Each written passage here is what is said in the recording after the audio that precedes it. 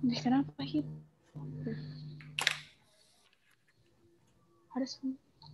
Oke, uh, Bismillahirrahmanirrahim.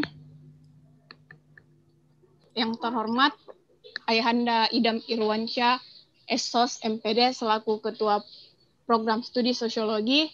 Yang terhormat para dosen yang menyempatkan hadir dalam diskusi kali ini dan yang terhormat para partisipan yang meluangkan waktunya untuk mengikuti diskusi kali ini. Assalamualaikum warahmatullahi wabarakatuh. Waalaikumsalam warahmatullahi wabarakatuh. Puji dan puji syukur kepada Tuhan dan solawat kepada Nabi. Pertama-tama izinkan saya selaku memperkenalkan diri selaku moderator, nama saya Fikal Fahira, untuk memandu jalannya diskusi kali ini. Karena berhubung uh, di tengah-tengah kita uh, ada Ayahanda Idam Irwansyah Esos selaku Ketua Program Studi Sosiologi. Untuk itu uh, saya persilahkan untuk memberi sepatah kata. Untuk Ayahanda mungkin saya persilahkan. Ya, terima kasih Vivi Alfahira. Kalau sepatah kata selesai nih. Cukup.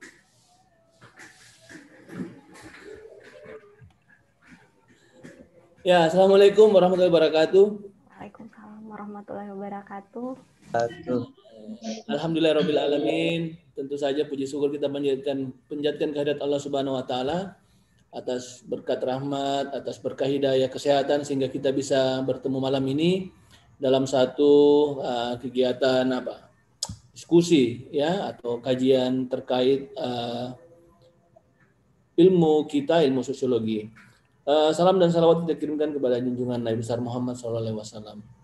Tentu uh, yang pertama saya menyampaikan salam kenal nih dengan Mbak Fadila Sri Mutia. Mbak Fadila orang Jawa atau orang Bugis? Iya orang Bugis. Oh, nggak usah panggil Mbak kalau begitu. Iya. Cuma besar di Bandung, kemudian oh, besar di Bandung. Uh, oh iya. Iya. Tapi sekarang di mana ini? Di Makassar atau di Bandung? Jakarta? Lagi di Jakarta, di Jakarta, Pak. Oh iya. iya. Salam Tapi kenal bisa ini. di bahasa bahasa Bugis, iya. Bisa di bahasa Bugis. Oh, iya. iya, iya, iya. Salam kenal ini uh, iya. adik Fadilah Sri Mutia. Kelihatannya lebih tua kelihatannya. saya panggil adik. Uh, saya Idam, kebetulan saya sekarang uh, ketua program studi sosiologi S1 di Universitas Negeri Makassar. Tentu kami sangat berterima kasih karena adik Fadilah Sri Mutia berkenan hadir malam ini untuk berbagi pengetahuan, berbagi ilmu terkait analisis wacana. Apalagi saya sempat uh, menggoogling tadi, ya ternyata memang tulisan-tulisannya, penelitiannya banyak berkaitan dengan analisis wacana. Saya berharap teman-teman uh, yang hadir malam ini ada mahasiswa dari berbagai perguruan tinggi selain dari Universitas Negeri Makassar, ada juga alumni kita, ada Aryo Sosiawan. Apa kabar Aryo? Malam, Pak. Aryo baik, Pak, baik. Lulus S2 di Unhas, ya? Iya, Pak. Alhamdulillah. Ya, Alhamdulillah. Ya, selamat Aryo. Saya tidak bisa menyapa yang lain, tapi saya lihat partisipan sudah ada 92 orang. Alhamdulillah, saya kira ini artinya apa yang kita apa yang Pak Sofian inisiasi malam ini kegiatan klinik sosiologi ini betul-betul uh, mendapat apresiasi yang baik dari uh, segenap peminat ilmu sosiologi. Saya kira uh, kami berharap kegiatan ini bisa terus berlanjut dan tentu saya berharap adik Fadilah Sri Mutia tidak bosan-bosan untuk uh, bisa diajak berdiskusi dengan kami yang ada di Makassar. Insya Allah, Pak. Iya. Sekarang masih kuliah S3? Iya, Pak, semester akhir. Semester akhir, ya. Ibu Ida Ruwaida, Ketua Asosiasi Program Studi. Kenal? Iya kenal dosen saya, saya dosen. Uh, uh, fans sama beliau. Iya. Apa nama importnya ini? Iya. Sampaikan salam kami. Iya Dan Pak. ucapan ya. selamat, saya dengar baru terpilih sebagai Ketua Departemen Sosiologi. Oh iya Pak, iya. Saya kira itu saya tidak usah berpanjang lebar karena tadi Vivi Alfahira hanya berharap saya memberikan sepatah kata. Tentu kita ingin menyimak apa yang akan materi yang akan disampaikan adik uh, Fadila. Saya kira itu jauh lebih bermanfaat, insya Allah bermanfaat bagi kita semua. Saya kira itu uh, perlu dibuka, tidak perlu dibuka Pak Sofyan. Saya kira sudah terbuka ini ya. Ya bisa Pak, bisa. Ya. saja. Kalau begitu saya mengajak kita semua untuk bersama-sama membuka kegiatan ini tentu dengan berharap uh, izin dan ridho Allah Subhanahu wa taala dengan membaca basmalah. Bismillahirrahmanirrahim. Bismillahirrahmanirrahim. Saya kira itu terima kasih semua. Terima kasih atas kehadiran kita semua pada malam hari ini. Semoga kita selalu dalam lindungan Allah Subhanahu wa taala, senantiasa diberi kesehatan. Amin. Billahi taufiq wal hidayah. Wassalamualaikum warahmatullahi Amin. wabarakatuh. Waalaikumsalam. Waalaikumsalam warahmatullahi wabarakatuh. Terima kasih Ayahanda uh, telah memberi sepatah kata dalam uh, kegiatan ini. Nah, melangkah ke agenda selanjutnya. Yang diambil. Uh, eh, alasan. Lagi-lagi kita uh, kembali bersua kembali uh, melakukan kegiatan produktif yang diperadakan oleh klinik sosiologi. Uh, dalam kegiatan kali ini, uh, diskusi kali ini dengan uh, tema analisis wacana media dan budaya populer.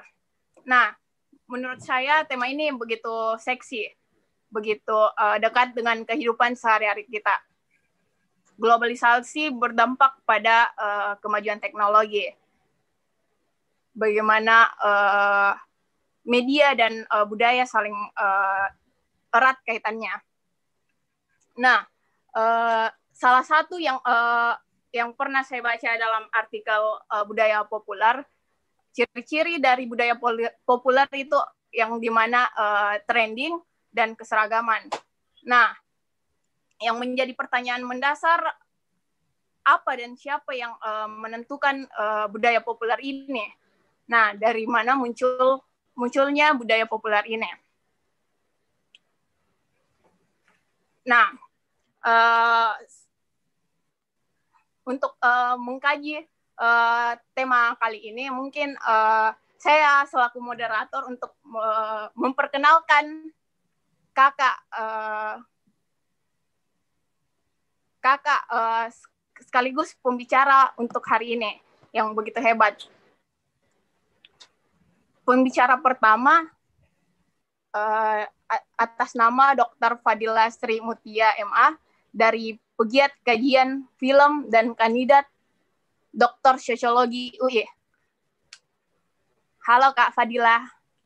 Saya panggil kakak atau Mbak? Uh, iya, panggil kakak. Asal jangan om. siap, siap. Boleh kak. panggil kakak. Asal jangan panggil om. ya, uh, saya ralat sedikit ya. Saya belum dokter, masih dokter kandidat. Oh, iya. Yeah. Uh, maaf, maaf, Kak. Uh, pembicara kedua yang mungkin uh, sudah tidak asing lagi bagi teman-teman uh, uh, di lingkup Fakultas Ilmu Sosiologi, eh Ilmu Sosial Universitas Negeri Makassar. Nah, uh, beliau salah satu dosen sosiologi sekaligus kakak uh, dalam komunitas literasi. Nah, beliau begitu uh, keren, begitu cerdas, dan uh, siapa lagi kalau bukan Kak Sofian Tamrin, SPD, MPD. Halo Kak. Ya, siap, siap, siap, siap. Lanjut. Nah, uh, untuk mengefisienkan waktu, mungkin uh, saya langsung saja uh, kepada Kak Fadila selaku pemateri pertama untuk uh, mengulas uh, tema tema untuk diskusi kali ini. Mungkin saya langsung saja persilahkan Kak dengan Kak Fadilah. Ya, Bismillahirrahmanirrahim. Uh, terima kasih banyak sebelumnya saya uh, diundang uh, untuk mengisi materi di Universitas Negeri Makassar. uh, kali ini. Uh, sebelumnya saya uh, salam sama Bapak uh, Ketua Prodi, terima kasih sudah dibuka. Uh, kemudian uh, sama Bapak Sofian Tamrin juga terima kasih karena uh, memberikan kesempatan untuk berbagi ilmu yang saya punya. Kemudian uh, kita langsung masuk ke materi sepertinya ya. Saya izin share screenshot, uh, share, share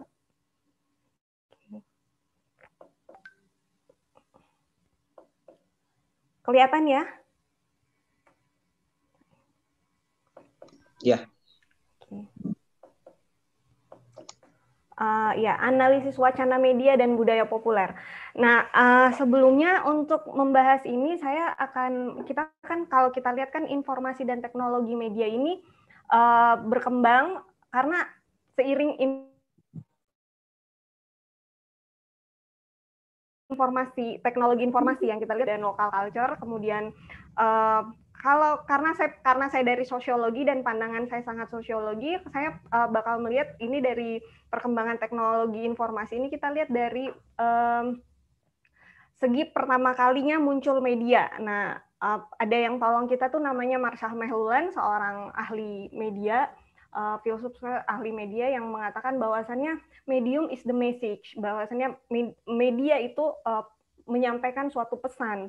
Nah, kemudian kalau kita ingat di tahun 1964 uh, beberapa buku bilang tahun 1964 tapi uh, di beberapa buku bilang 1966 tapi sebenarnya uh, itu setelah saya cek di buku aslinya adalah 1964 yaitu munculnya contemporary cultural studies di Birmingham School yang di mana itu kita dulu tahun 1960-an itu kita ingat kalau hadirnya media baru itu seperti televisi dulu tuh tahun 1960-an televisi itu mengkhawatirkan. Pertama muncul seperti uh, kehadiran gadget saat ini. Kalau saat ini kan kita apa-apa uh, anak muda tuh pegangannya gadget. Sementara kalau uh, zaman dulu 1960-an pertama kali hadirnya televisi juga mengkhawatirkan masyarakat. Nah, kemudian di mana letak sosiologi dalam pembahasan ini? Sosiologi adalah mengaitkan antara bagaimana media dan masyarakat itu dampaknya terhadap masyarakat. Nah,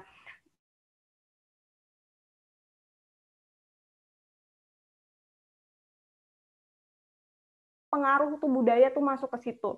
Nah, di situlah kita lihat pop culture. Kalau seandainya zaman dulu yang muncul artis artis terkenal artis terkenal yang muncul tuh dengan berkulit hitam mungkin yang cantik sekarang ini adalah mereka yang berkulit hitam. Tapi karena dulu yang muncul adalah sekelas Marilyn Monroe, Madonna dan itulah yang menjadi contoh di media. Dan kemudian kekhawatiran masyarakat itu bahwasannya nah ini uh, orang-orang tua tuh berpikir ini dampak media nih uh, anak-anak tuh uh, anak-anak sekolah ini. Kekhawatiran uh, orang tua melihat kehadiran media ini orang tua semua anaknya semua berdasarkan film uh, apa yang ditonton, apa yang ditonton itulah yang diadaptasi. Nah, kalau bahasa uh, kerennya mungkin dengan kata representasi ya, itu yang direpresentasikan apa yang ditonton itulah yang direpresentasikan.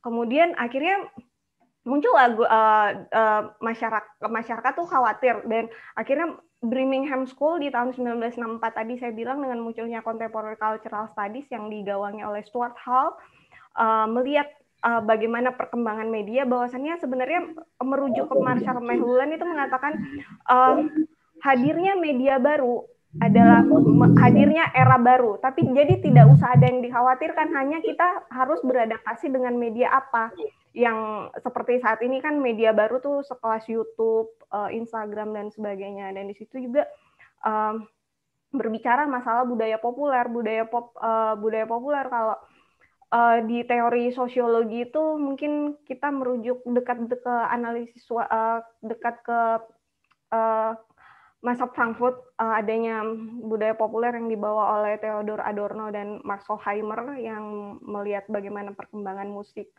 jazz dan budaya populer di sinema, di film dan khususnya budaya layar seperti itu. Nah, kemudian kalau ditanya masalah, saya nggak akan ngomong terlalu lebar dulu untuk sebagai pembuka, saya lebih senang diskusi. Uh, sekarang saya uh, masuk ke analisis karena kita ngomong masalah analisis. Saya, gambaran besarnya dulu, saya lebih senang kalau teman-teman nanti uh, kita lebih banyak diskusi yang lebih saya lebih senang diskusi daripada mendikte. Kalau untuk analisis teks media sendiri itu ada analisis semiotika. Yang pertama adalah ini untuk teks media karena saya khususnya ke film yang coba saya lihatkan bagaimana bisa lebih mudah memahami itu analisis semiotika. Semiotika itu ada dua ada dua perspektif uh, dari Eropa dan Amerika. Eropa itu ada Ferdinand de Saussure yang kemudian diadaptasi oleh Roland Barthes, namanya Roland Barthes. Roland Barthes itu uh, dari semiotika strukturalis. Kemudian di Amerika ada Charles Sanders Peirce, uh, panggil Charles Sanders Peirce. Um, dia melihat adanya uh, fenomena tanda, tapi bedanya di sini kalau Mazhab Eropa mereka tuh sama-sama ini lucunya bukan lucu ya uniknya analisis semiotika itu ada dua model tapi mereka tidak janjian dan sesuatu yang berli mereka tidak janjian kemudian ternyata memikirkan hal yang sama hal tentang tanda uh, bahwasannya dari tanda itu uh, banyak sesuatu yang misalkan ya saya contohkan dalam film tadi saya uh, bicara masalah budaya populer.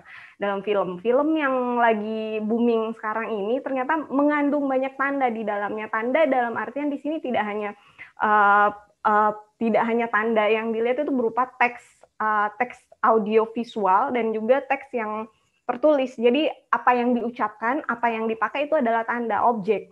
Nah di sini uh, Ferdinand de Saussure uh, melihat bahwasannya bedanya Masab Eropa dan Amerika ini ya, kalau Masab Eropa itu dengan Ferdinand de Saussure dan Roland Barthes itu lebih uh, semiotikanya lebih ke model psikologi. Sementara Charles Sanders Peirce ini dia lebih ke uh, perspektifnya lebih ke filsafat yang mengatakan bahwasannya tanda itu adalah logika. Jadi logika logika tanda. Nah dari ya dari semiotika ini nanti membaca teks kalau di semiotika itu karena dia strukturalis jadi dia membaca teks-teks ini maknanya seperti ini dan seperti ini. Kemudian nanti kita akan masuk ke analisis wacana. Kalau saya berangkat analisis wacana itu, kalau saya berangkatnya dari semiotika, kita akan uh, ketemu dengan semiotika itu uh, mungkin teman-teman uh, ini sebagai pengantar semiotika adalah ilmu yang pelajari tentang tanda uh, tanda apa tanda yang dibawa oleh media-media um, apa uh, dan sebagainya. Nanti di situ kalau dari semiotik kita akan bermain dengan tanda bagaimana produksi ngomong tentang mitologi. Roland Barthes itu turunan dari Ferdinand Saussure dari Eropa gitu tentang tentang ngomong kemudian um, ada yang Baudrillard juga ngomong tentang masyarakat konsumsi. Nah, nanti di sini uh, ada lagi analisis untuk analisis teks media itu ada analisis wacana. Wacana itu kalau kita lihat semiotika wacana dia ada Algirdas Julian Greimas uh, yang terkenal dengan panggilan AJ Greimas itu juga uh, mengkaji tentang struktur wacana uh, wacana semiotika. Nah, sementara Michel Foucault itu lebih ke bagaimana diskurs analisis bermain. Diskurs itu wacana, analisis wacana bermain. Dia melihat kalau kita merujuk ke bukunya Power of Knowledge itu bagaimana citra bermain dengan media kuasa, film, uh, film media, uh, medium uh, yang kita tonton, yang kita konsumsi, apa pun itu. Tontonan ini uh, semua ini mengkaji masyarakat tontonan, tapi uh, kemudian tontonan itu bukan hanya masyarakat itu bukan hanya masyarakat real yang masyarakat sosial, tapi juga ada perilaku-perilaku masyarakat tontonan yang kemudian bisa kita ya. Nah, kemudian habis itu ada citra-citra yang bermain, kemudian ternyata ada ketidakberesan dari ini. Nah, itu untuk melihat ketidakberesan di media, kita bisa memakai analis wacana kritis. Beda analis wacana dan analis wacana kritis. Analis wacana itu dia lebih ke uh, melihat citra. Uh, kalau fokusnya sama-sama uh, power, power. Tapi kalau analis wacana kritis dia tambah ideologi, dia tambah ideologi. Jadi apa yang bermain di dalam itu analis wacana kritis. Analis wacana kritis nanti uh, macam-macam lagi ada Tom Van Dijk di dalam untuk melihat uh, gender kita bisa pakai Sarah Mills, kemudian Norman Verloh untuk ya Norman Verloh bisa dipakai membedah film, kemudian uh, untuk uh, kalau saya sendiri karena lagi mengkaji film untuk film itu uh, ada namanya um, uh, namanya Jagger and Beer nanti Jagger and Mayer itu uh, dia ada langkah-langkahnya untuk membedah film. Nanti kita bahas lebih lanjut. Uh, mungkin uh, itu dulu yang bisa saya jelaskan. Saya lebih senang tanya jawab, uh, mungkin lebih menarik. Itu saja. Terima kasih. Terima kasih Kak Fadila. Uh, itu dari sudut pandang sosiologinya mengenai uh, bagaimana uh, melihat uh, film dari segi uh, filmnya. Nah, mungkin uh, untuk pembicara kedua, mungkin uh, untuk mengefisienkan waktu juga, uh, saya langsung persilahkan saja untuk Kak Sofian Tamrin. Pak Sofian. Ya, uh, terima kasih. Assalamualaikum warahmatullahi wabarakatuh. Uh, selamat malam, salam sehat, salam sologi untuk kita sekalian.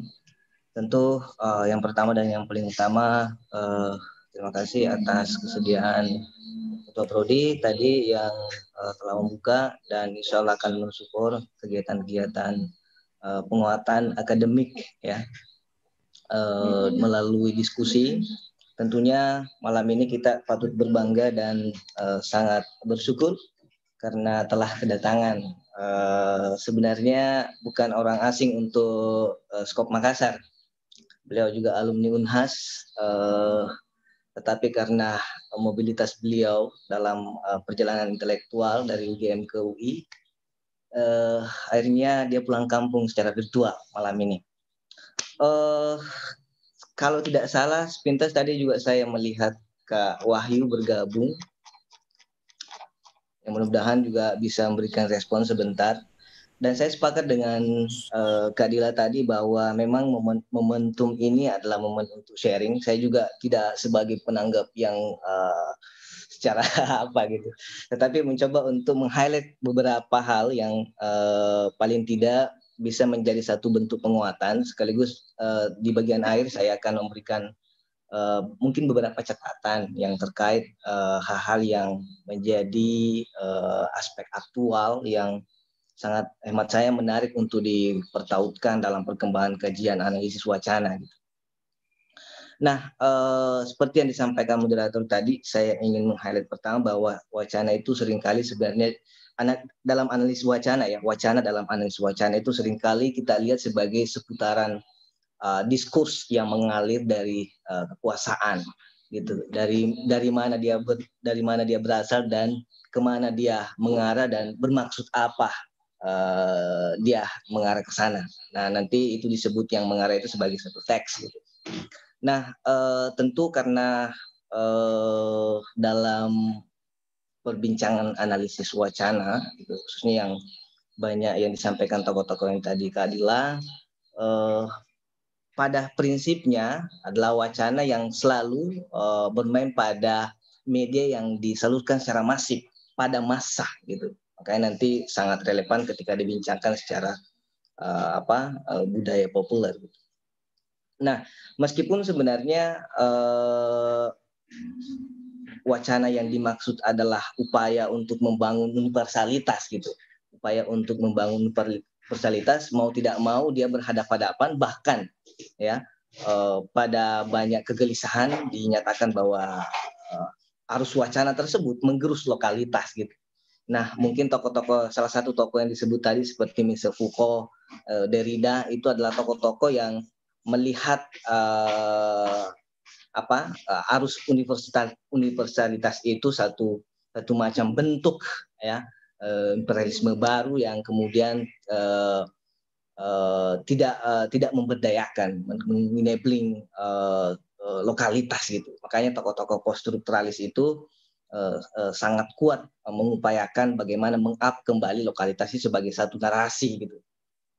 Nah, seperti yang kita ketahui analisis wacana ini sebenarnya upaya untuk memahami secara kritis gitu. Kalau tadi tokoh-tokoh karena memang pada dasarnya uh, hemat saya analisis wacana lebih banyak dipenuhi atau dilingkari oleh orang-orang kritis, makanya upaya memahami secara kritis kayak uh, teks-teks yang yang yang berani seperti dekonstruktif ala Derrida itu sering kali menjadi suatu uh, apa ya perwakilan secara radikal untuk uh, mempertautkan dengan arus wacana yang uh, universal apa ya universal tadi itu. Nah, uh, kalau bisa kalau sebenarnya bisa dilihat bahwa analisis wacana ini uh, melihat uh, arus wacana itu sebagai peristiwa diskursif. Satu peristiwa di mana ada uh, proses uh, apa ya? proses uh, uh, pemaknaan ya, pemberian makna atas berbagai macam teks yang yang menjadi penuh dengan muatan-muatan kepentingan. Nanti harusnya kita uh, yang menarik karena uh, melalui uh, analisis wacana kita bisa berjumpa dengan dengan uh, kekuasaan yang berma bermain di balik teks itu sebenarnya.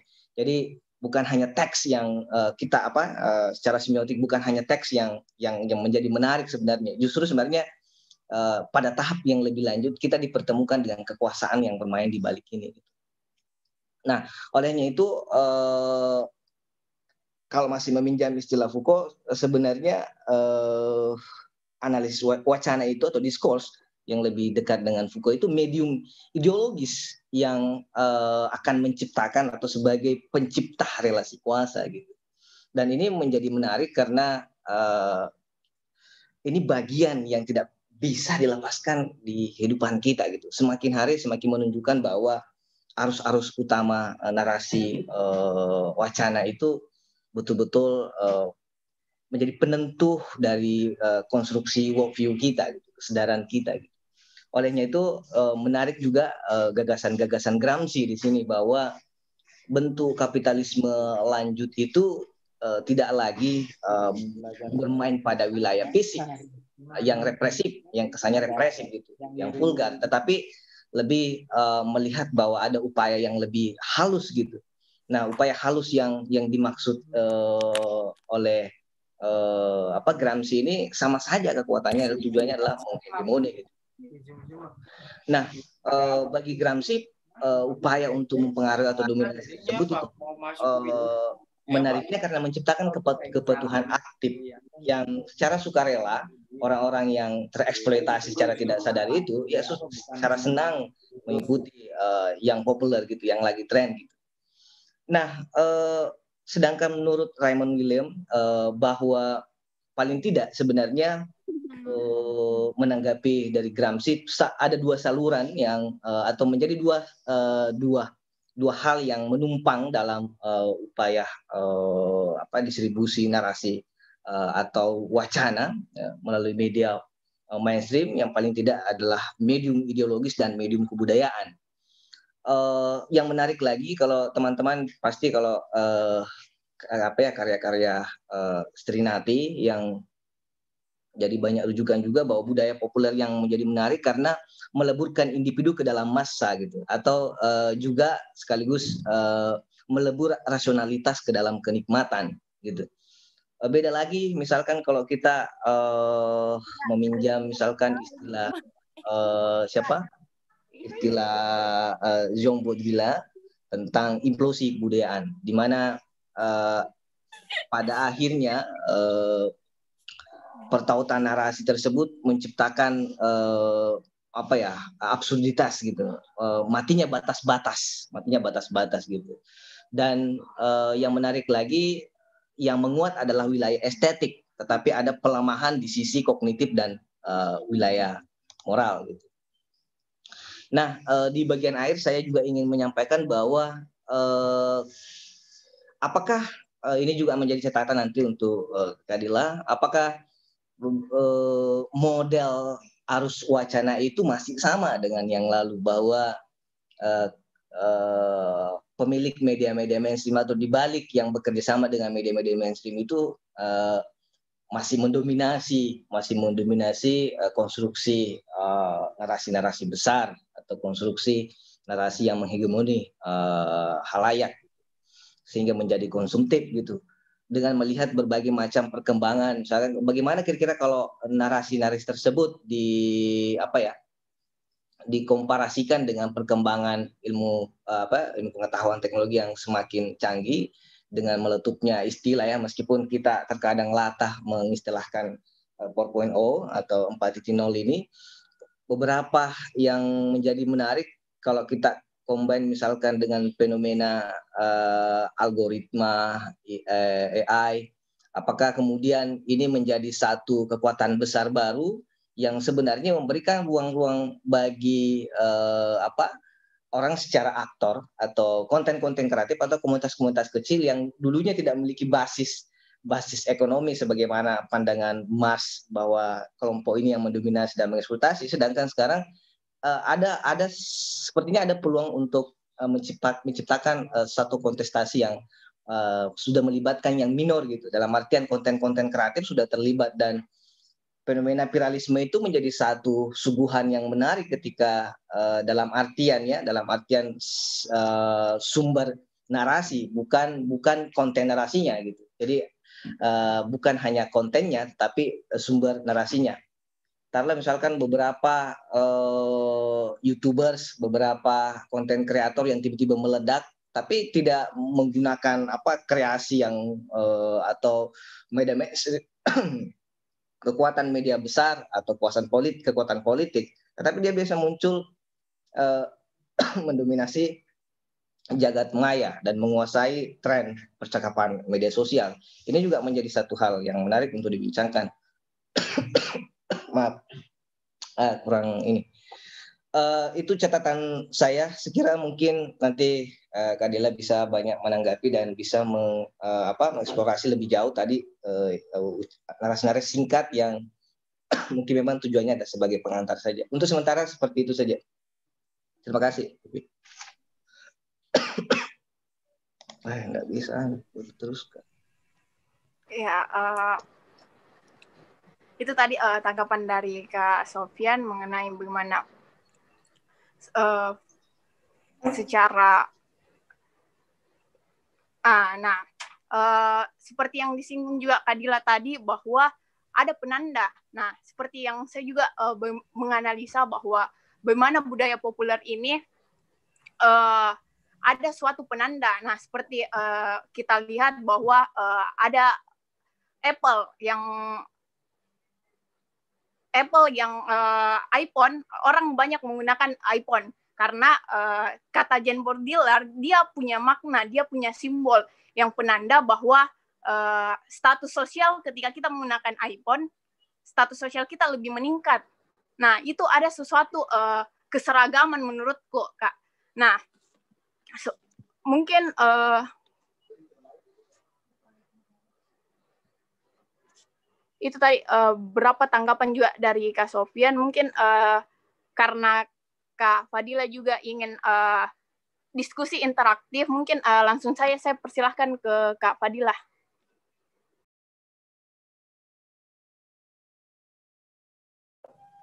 Uh, iya, terima kasih pertanyaannya luar biasa. Uh, yang cuman saya ini ya saya nggak mau terlalu banyak uh, bicara tentang pemikir kayak kita mengutip ini mengutip ini karena uh, uh, apa ya uh, aduh astagfirullah. Jadi uh, begini, uh, kalau kita um, saya karena saya mau biar benang merahnya ketemu dari wacana sampai ke ini kita pisahkan dulu dari wacana sampai ke wacana kritis. Kita ngomong strukturalis sampai ke postmodernisme biar biar kitanya tidak tercampur-campur. Karena kalau misalkan uh, ini kan kalau kita tuh mesti kalau misalkan saya mengutip apa mengutip tokoh-tokoh misalnya saya bilang uh, Derrida itu uh, pasti uh udah hebat udah pinter. Tapi sebenarnya kita harus uh, lihat ininya. Kayak misalkan kita menjelaskan apa kalau kemudian mengutip Lenin dan Uni Soviet dan semuanya itu terdengar selalu terdengar hebat. Padahal sebenarnya yang kita butuhkan adalah uh, benang merah yang juga saya pernah uh, jatuh di situ karena saya udah udah senang banget kok ngomongin semua teori-teori posmo bla bla bla bla bla tahu-tahu di bawahnya nggak nggak jelas. Jadi saya maunya uh, karena uh, biar kitanya uh, lebih ini kalau kita karena sekarang saya ngomong tentang tanda uh, tadi pertanyaannya bahwasannya adalah uh, uh, pertanyaannya adalah uh, bagaimana model media ilmu pengetahuan dan konten kreatif uh, ini. Nah, uh, kalau saya ngomongin uh, media itu saya uh, tariknya dari Marshall McLuhan. Marshall McLuhan itu adalah uh, tokoh media yang mengatakan uh, medium is the message. Yang kemudian itu uh, nanti kemudian diambil rujukan oleh Zong Baudrillard untuk menjelaskan budaya populer. Nah, ini uh, saya pelan-pelan bicaranya supaya kita mengerti uh, model media. Uh, misalkan ini konten kreatif tadi uh, case-nya adalah YouTuber. Nah, kalau case-nya adalah YouTuber, um, kalau saya lihat dari analisis wacana ini ya, kalau saya pertama saya saya ajarkan caranya kalau misalkan saya melihatnya pakai semiotika, misalkan di YouTube, YouTube fenomena YouTuber uh, YouTube uh, yang youtuber perempuan Anya uh, youtuber perempuan Aurel lah Aurel uh, uh, uh, ini apa Atta Halilintar. Dia pakaian apa? Itu kita ikuti wah rambutnya bagus kemudian semua juga rambutnya uh, senang dengan rambut berwarna dan sebagainya. Itu tanda yang disebut dengan tanda kemudian kalau kita lihat dari perspektif analisis wacana diskurs analisisnya apa yang ditampilkan. Itu yang ditampilkan saya pakai misalkan power of knowledge. Ada citra power of knowledge oleh misal Foucault ada citra yang bermain di dalamnya. Uh, kemudian uh, ditampilkanlah itu semua uh, uh, bagaimana perempuan cantik, rambutnya mesti panjang, uh, berwarna dan model-model baju dan semuanya apa yang dikenakan itu masuklah ke dari semiotika dari tanda bermain diskurs ada citra di dalamnya. Kemudian kita lihat citra, melihat apa yang di balik kuasa media bermain. Oh, ternyata ada brand di dalamnya. Nah, ini masuk analisis wacana kritis. Ada brand di dalamnya yang kemudian ber, kemudian bermain. Nanti analisis wacana kritis juga macam-macam karena uh, uh, uh, uh, ini saya tidak tuliskan semua karena banyak dan untuk menurut saya untuk mengantar teks media kita uh, butuh pelan-pelan masuk ke situ. Nah, itu yang dibilang ini yang di dalam analisis teks media. Uh, kalau misalkan saya mau menjelaskan secara general atau common sense, itu mungkin saya bisa menarik semua semua um, uh, filsuf uh, Derrida, Komen Kompas, Impossible semuanya uh, semuanya berasal dari tanda, kemudian uh, uh, macam-macam lah di situ. Cuman saya mau uh, teman-teman tahu dulu dasar dasar bermainnya uh, analis wacana media ini uh, bagaimana kemudian bisa menarik sampai ke budaya populer. Nah, budaya populer juga itulah tanda yang bermain apa yang di media bermain saya contohkan dengan film, misalkan film religi. Kalau kita mau lihat dari model jilbab dulu kan nggak ada jilbab yang keren, itu kan dari dari film semua. Kemudian uh, kalau balik lagi ke fenomena YouTube tadi, uh, kemudian klaim kesahihan uh, karena semua orang bebas menggunakan konten kreatif kalau kita lihat dari wacana kritisnya ya.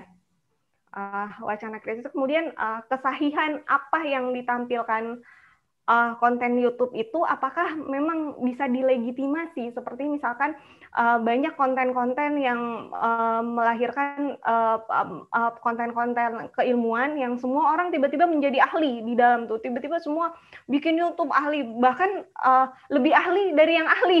Nah itu lucunya. Lu bikin YouTube lebih ahli dari yang ahli. Uh, kemarin uh, saya melihat beberapa YouTube ini ahlinya saya melihat misalkan saya melihat uh, YouTube uh, siapa ya nggak uh, usah sebut nama saya melihat pakar pakar uh, uh, analisis wacana kemudian semiotika dan wacana kritis itu uh, dibandingkan yang ahlinya yang tidak ahli itu penontonnya lebih banyak. Nah itu kemudian itu yang jadi pertanyaan um, uh, yang yang itu kalau klaim analisis kritisnya apakah kesahian itu yang jadi uh, sekarang tuh yang jadi uh, pertanyaan adalah kesahian keilmuannya itu sama dengan ketika artis-artis uh, yang aktif di YouTube kemudian artis-artis yang aktif di YouTube uh, tetapi pada akhirnya uh, tidak bisa tidak klaim klaim ke klaim kesahian dari dia itu apakah yang ditampilkan apa? Contoh contohnya apa ya? Misalkan uh, uh, kalau kita lihat dari yang udah basi dibahas dari dulu tuh kayak fenomena Starbucks uh, dengan harga sekian dijual. Tapi saya nggak tahu ini booming di Makassar atau tidak. Uh, seperti fenomena Starbucks yang tadi juga Dinda Vivi bilang, Kak, bagaimana kalau uh, fenomena Apple dan sebagainya? Kalau misalkan Apple kan, uh, kalau kita lihat kan, kalau kita nggak pakai Apple itu kayaknya kurang keren lu kalau kalau di Makassar tuh kita jalan nggak pakai handphone iPhone itu kurang keren. Nggak tahu dia orangnya bisa make atau enggak. Pokoknya kalau dia nggak pakai iPhone itu kurang keren. Itu aja.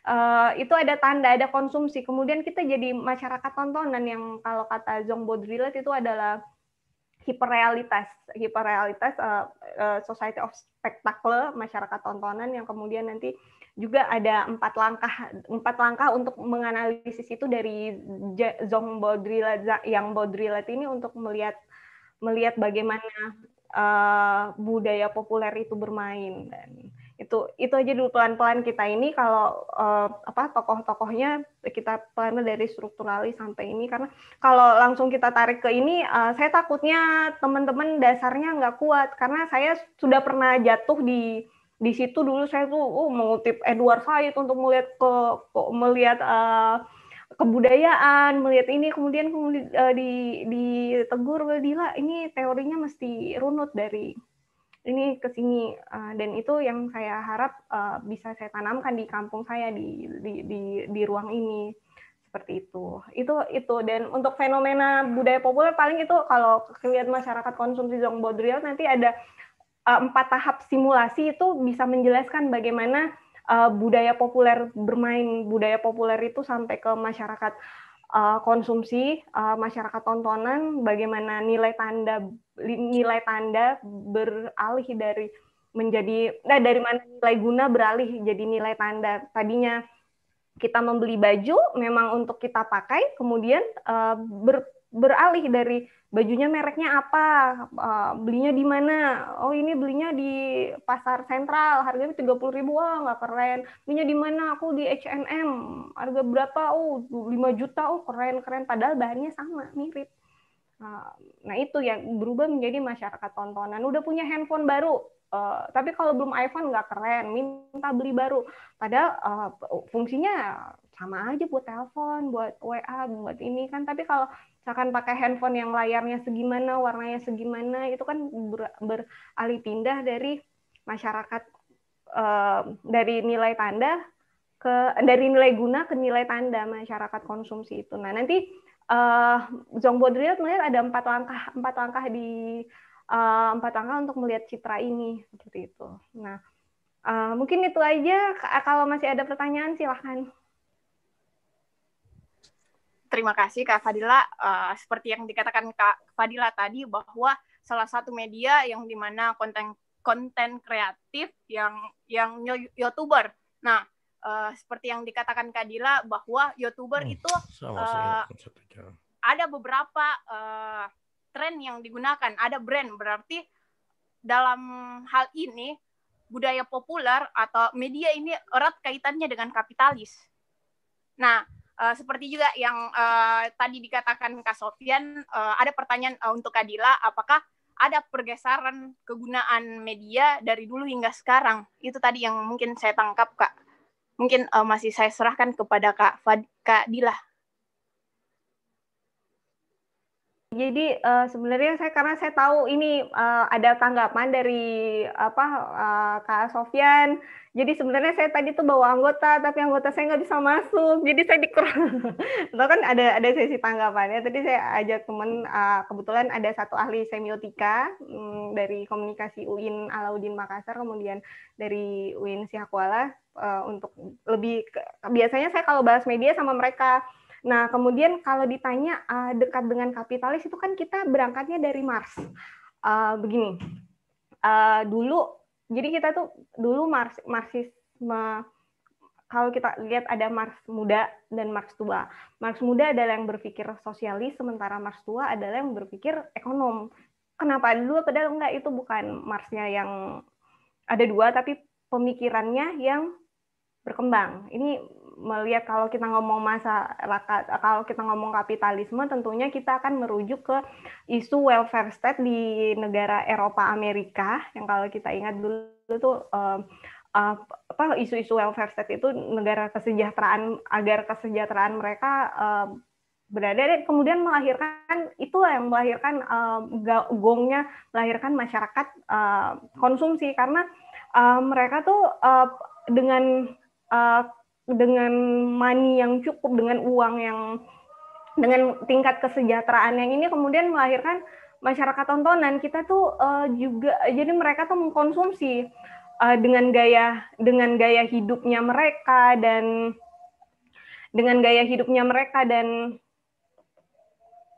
dengan gaya hidup maaf ada gangguan dengan gaya hidupnya mereka uh, kalau misalkan orang ke mall orang ke mall ini dari isu misalkan kita ke mall.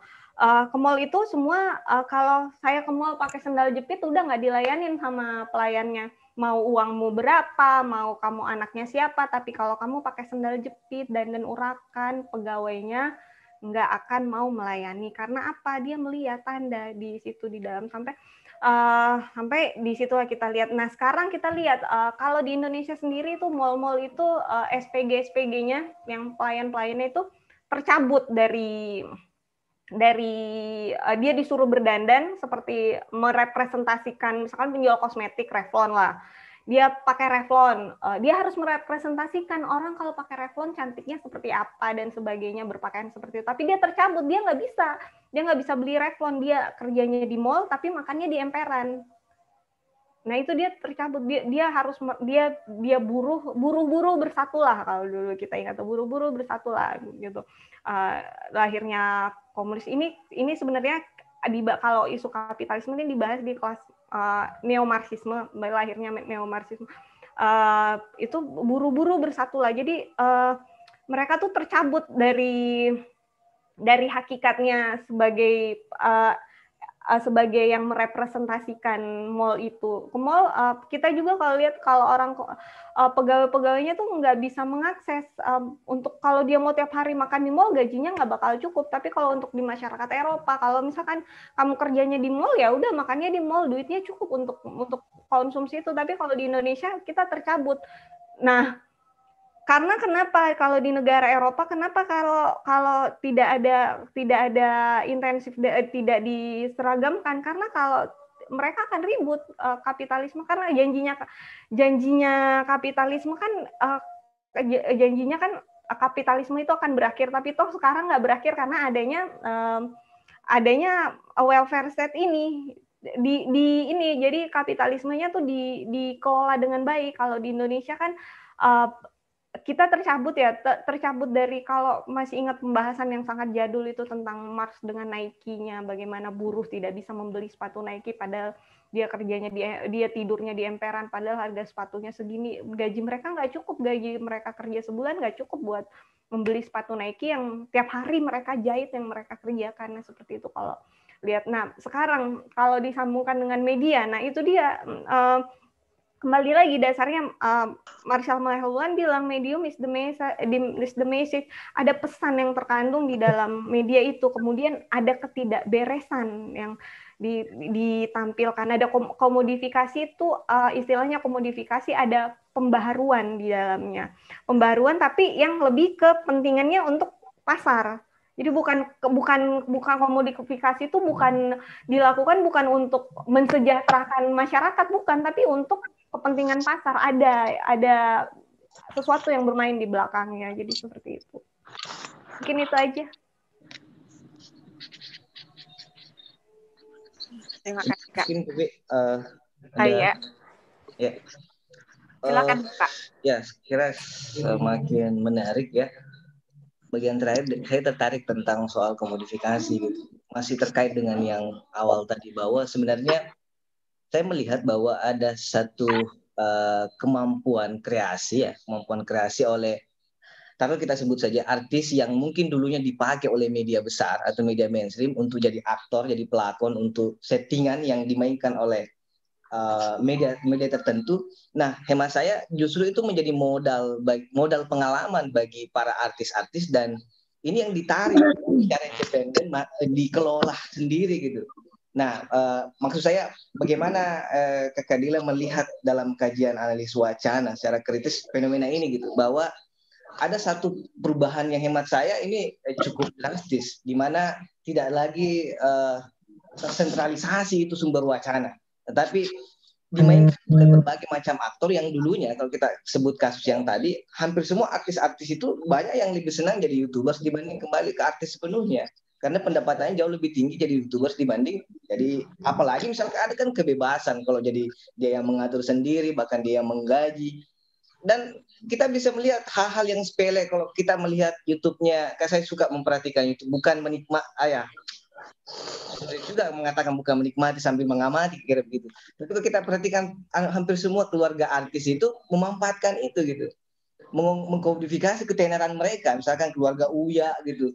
Hampir setiap hari kontennya kalau kita perhatikan itu membuli mamanya atau eh, ayahnya, atau kakaknya, adik, itu terus. Yang kedua, eh, bagaimana bila melihat ada pergeseran komodifikasi juga, misalkan sampai hari ini tren yang paling kuat yang dimainkan kan kalau Indonesia itu paling laku misalkan komodifikasi agama, komodifikasi skandal seksual lah yang yang yang tren dan yang menarik orang-orang yang dahulunya punya kasus misalkan bisa kembali ini bisa kembali tampil dengan sekarang kan tanpa masalah gitu. Nah ini kan luar biasa media memblow up mereka-mereka ini sehingga kita kita seakan-akan melupakan bahwa Luna Maya, Ariel Noah ini pernah misalkan terseret kasus pada bahkan sampai sekarang pengagumnya luar biasa dan kedua-duanya juga menjadi youtubers yang cukup hebat hari ini. Nah, bagaimana kira-kira melihat hal semacam ini? Jadi ada semacam uh, apa ya terdesentralisasi ini sumber-sumber wacana gitu. Tidak lagi bisa di, disebut bahwa kekuasaan di balik ini ini loh karena mereka juga sudah keluar dari uh, itu. Bagaimana kira-kira ini dilihat? Ya, mungkin saya serahkan langsung saja kepada Kadila ya. Iya, makasih. Nah, ini yang tadi yang saya bilang um, kalau apa uh, yang tadi yang saya bilang bahwasannya ada klaim di dalam di media tuh ada klaim itu uh, apa dia kalau pakai sebenarnya ini kalau kita pakai analisis frame itu dari mana kita melihat uh, timbul tenggelamnya kepentingan. Nah, di situ uh, di situ bermain. Tapi kalau misalkan uh, ini yang terakhir dari bahasanya Zong Baudrillard, dia yang Baudrillard bilang bahwasannya berakhirnya masyarakat sosial yang semuanya dimainkan oleh media. Nah, uh, kemudian itu yang menjadi kritik uh, ideologi apa yang bermain apa yang mau ditampilkan? Oh ternyata ada penutupan. Kenapa? Penutupan penutupan kalau pakai frame itu penutupan berita. Berita yang lalu kayak lu namanya kenapa ini karena orang udah udah bosan jadi dia tampilkan berbagai isu-isu yang lain untuk menutupi isu-isu yang kemarin yang sudah lalu dengan seiring waktu. Nah itu kalau pakai frame itu itu yang bermain.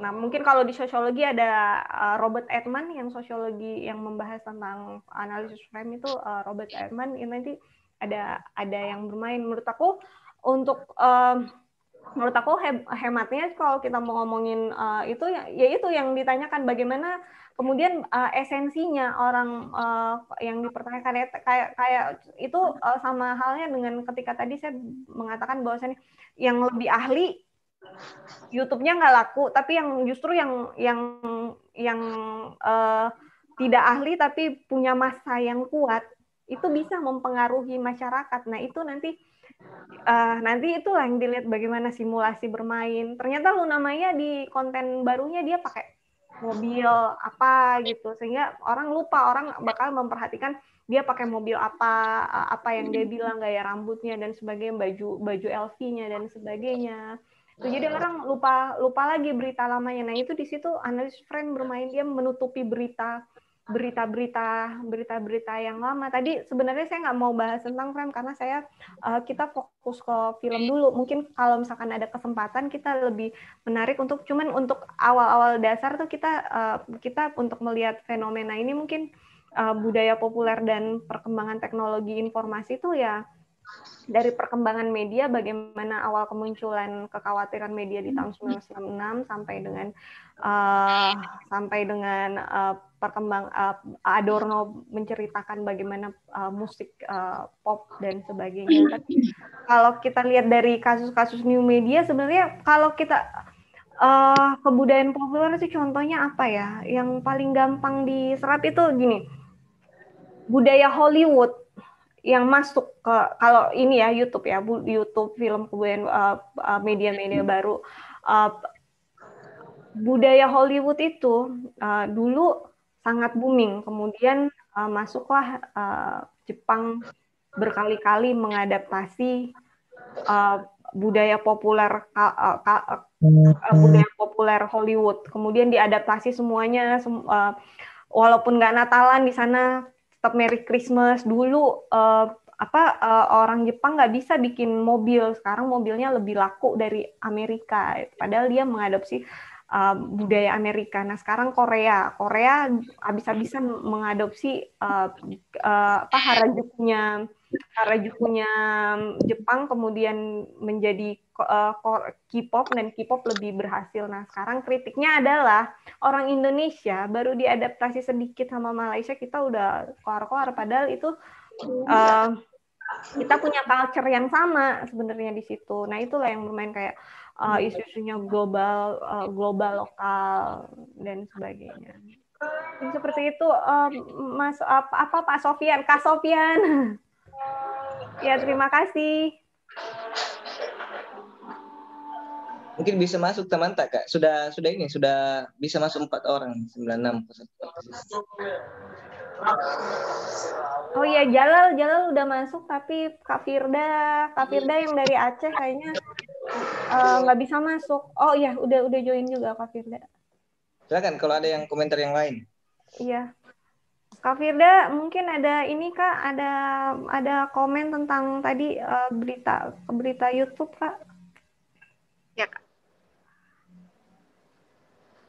Ya mungkin uh, bisa Kak, uh, sempat ada yang ingin uh, berdiskusi dan uh, selain uh, pembicara, mungkin saya persilahkan saja karena berhubung uh, diskusinya kita interaktif hmm. kakak-kakak jadi siapa tadi oke halo Dila ya ya kak Gimana nih kok tiba-tiba diminta ngomong? Ini saya iya mau, tadi tadi ada ini ya?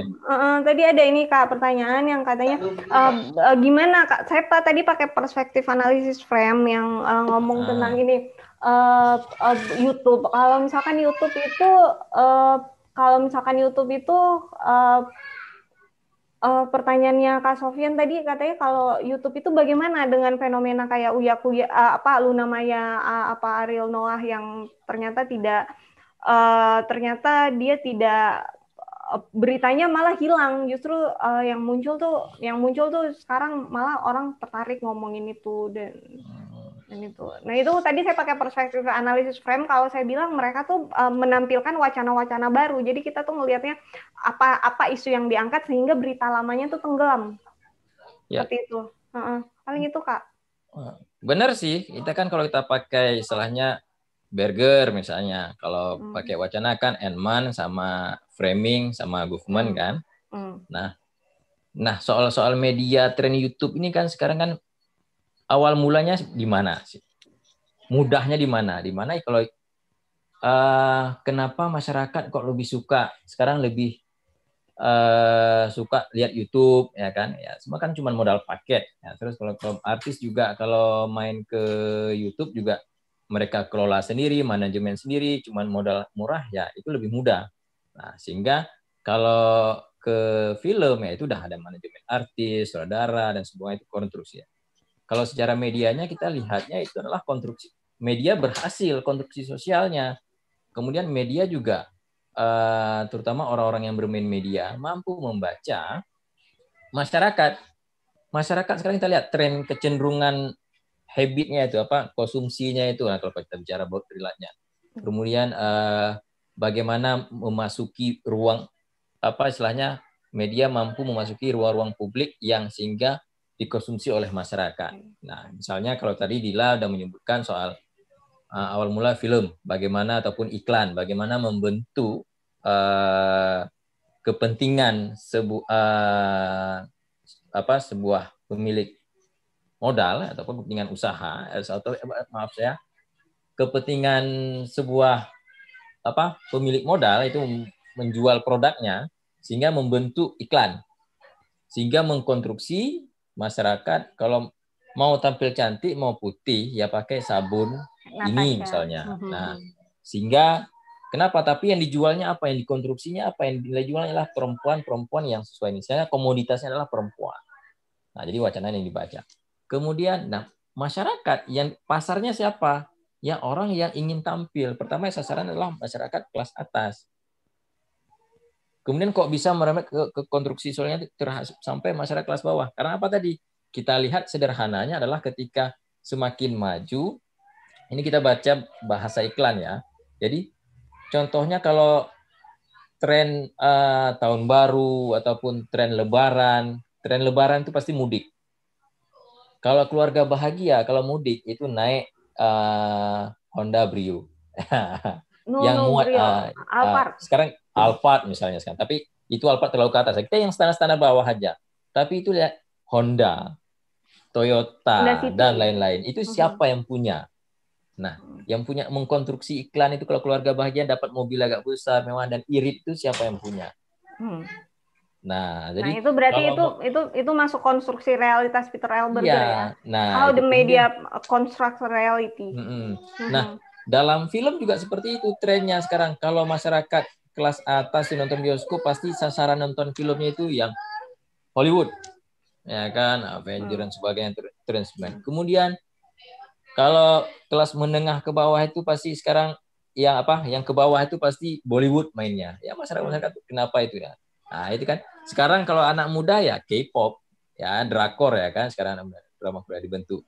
Sehingga apa? Ketika konsumsi sehingga konstruksi sosialnya itu bisa merubah frame ya kan mindset hmm. masyarakat Analisis frame mengikuti. Ah, kalau mau agak bentuk Korea Korean style. Sekarang kita lihat sekarang kan tidak hanya perempuan tapi laki-laki juga Korean style. Ya, yeah, dari uh, dari mm -hmm. dari ujung kaki, dari ujung rambut sampai ujung kaki.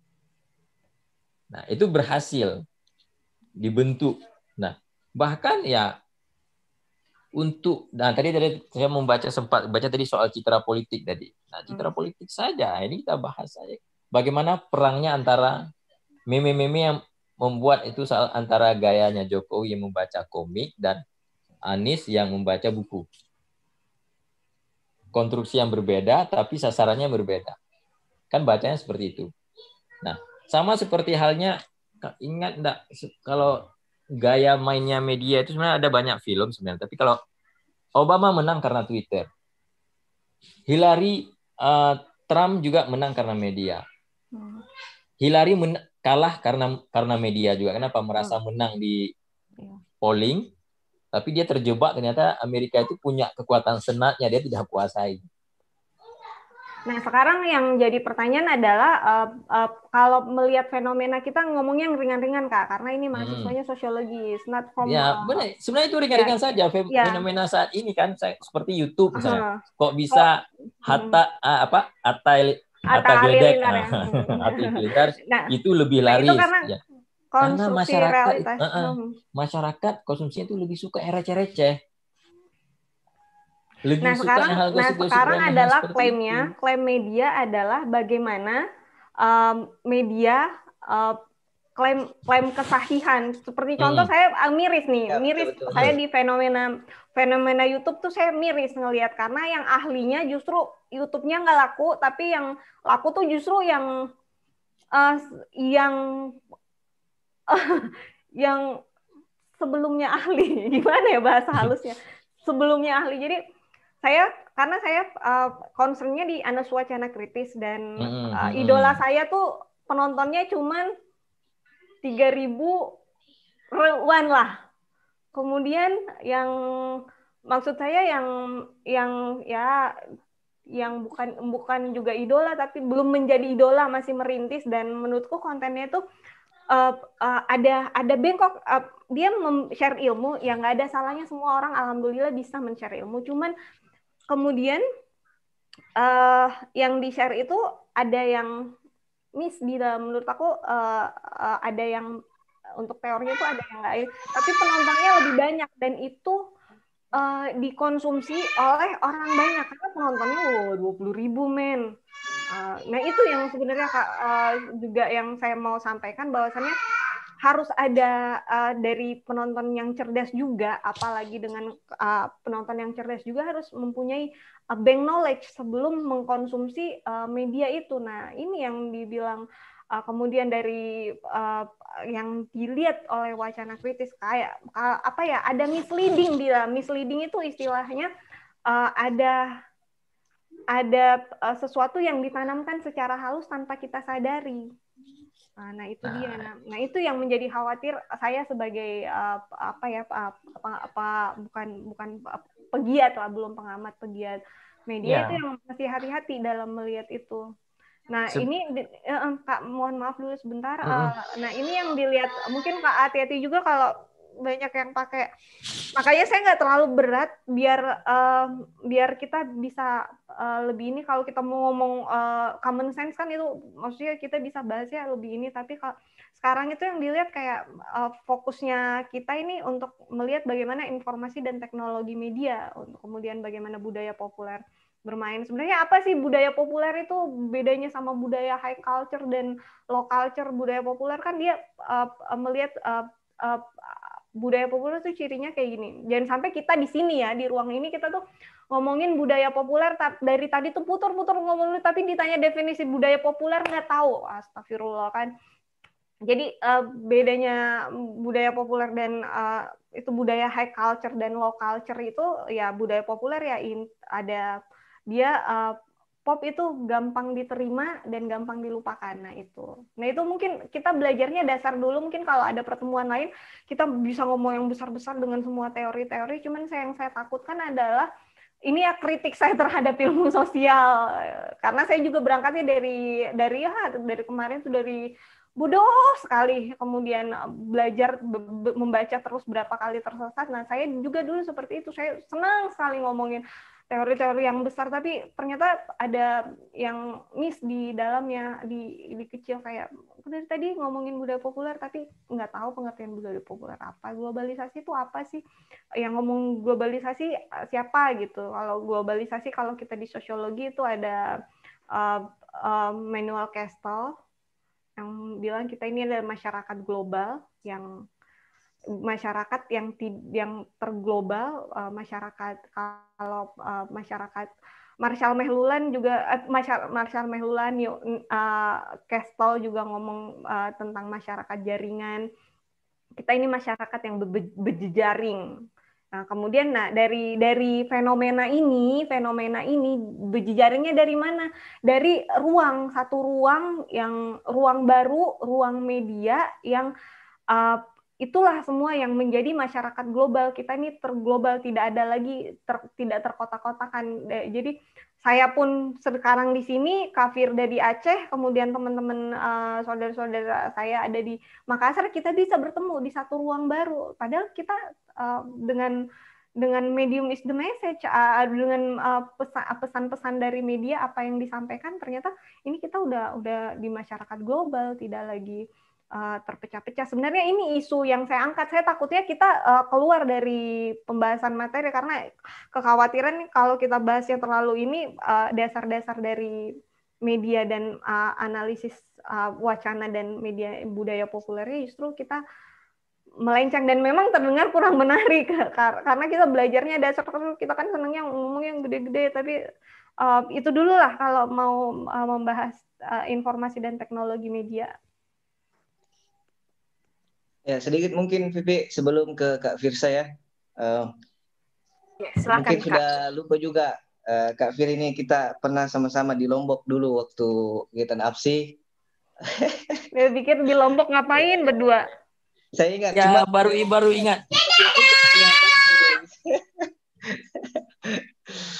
ya, cuma baru ingat ini di mana lah ya nih Mas lagi ingat-ingat tadi lagi cek-cek. Ya, ah, apa kabar Mas Bro? kebetulan ke, ke prodi saya juga iya. tadi tegur banyak ketanya ini. Mahal sih. pernah ketemu ini. Ya oke okay. uh, eh, saya sedikit lanjut tadi. Oh, ya. Uh, ya lebih santai saja. santai saja. Nah justru uh, saya pikir uh, saya merespon uh, pandangan keadilan tadi justru sebenarnya justru kita harus melek bahwa itulah realitas masyarakat kita gitu. Seperti yang disampaikan kami bahwa banyak masyarakat yang suka yang remeh-temeh yang receh-receh ya kita harus melek bahwa begitulah kondisinya gitu. Nah jadi kita juga tidak bisa memaksakan bahwa uh, menyebarkan atau mendistribusikan teks yang ideal itu terus banyak juga. Penonton itu itu itulah masalah-masalah yang yang dihadapi sebenarnya sehingga kritik terhadap terhadap uh, narasi-narasi besar itu bermunculan gitu. Makanya tadi saya menyinggung bahwa uh, analisis wacana ini menjadi menarik sebagai satu instrumen untuk mendedah sebenarnya kesempatan lokalitas itu di up gitu. Nah, saya sedikit mengaitkan ini dengan fenomena tadi bahwa uh, kemampuan aktor yang dulunya dipasang sebagai pelakon uh, oleh media besar itu mengimitasi gitu cara-cara mereka mengenali bagaimana realitas masyarakat tadi gitu kayak misalkan yang senang receh dia yang gunakan itu gitu dan dia betul-betul berhasil mereka betul-betul berhasil uh, mengimitasi itu gitu dia betul-betul berhasil menggunakan cara yang sebelumnya dipakai oleh media besar misalkan para youtubers kita bisa melihat dia betul-betul menangkap bahwa cara bekerja di mana dia bekerja di uh, media besar dulu itu betul-betul efektif gitu. Itu yang saya maksud tadi bahwa di sini ada kesempatan gitu.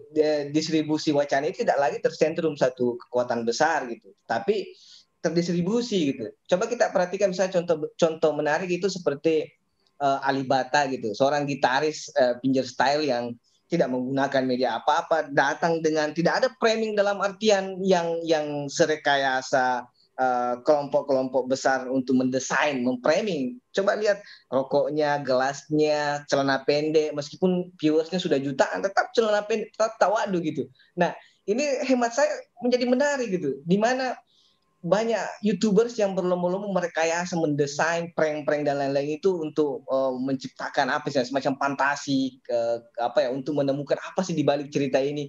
Tapi muncul seorang Alibata misalkan dengan gayanya yang sangat sederhana, hemat saya ini kan satu fakta yang harus diterima gitu bahwa ini kesempatan uh, untuk apa ya konten eh, konten-konten kreator pada pada apa ya, masyarakat umum untuk uh, bisa uh, berkontestasi gitu. Meskipun misalnya kemungkinannya kecil tapi hemat saya ini menjadi menarik.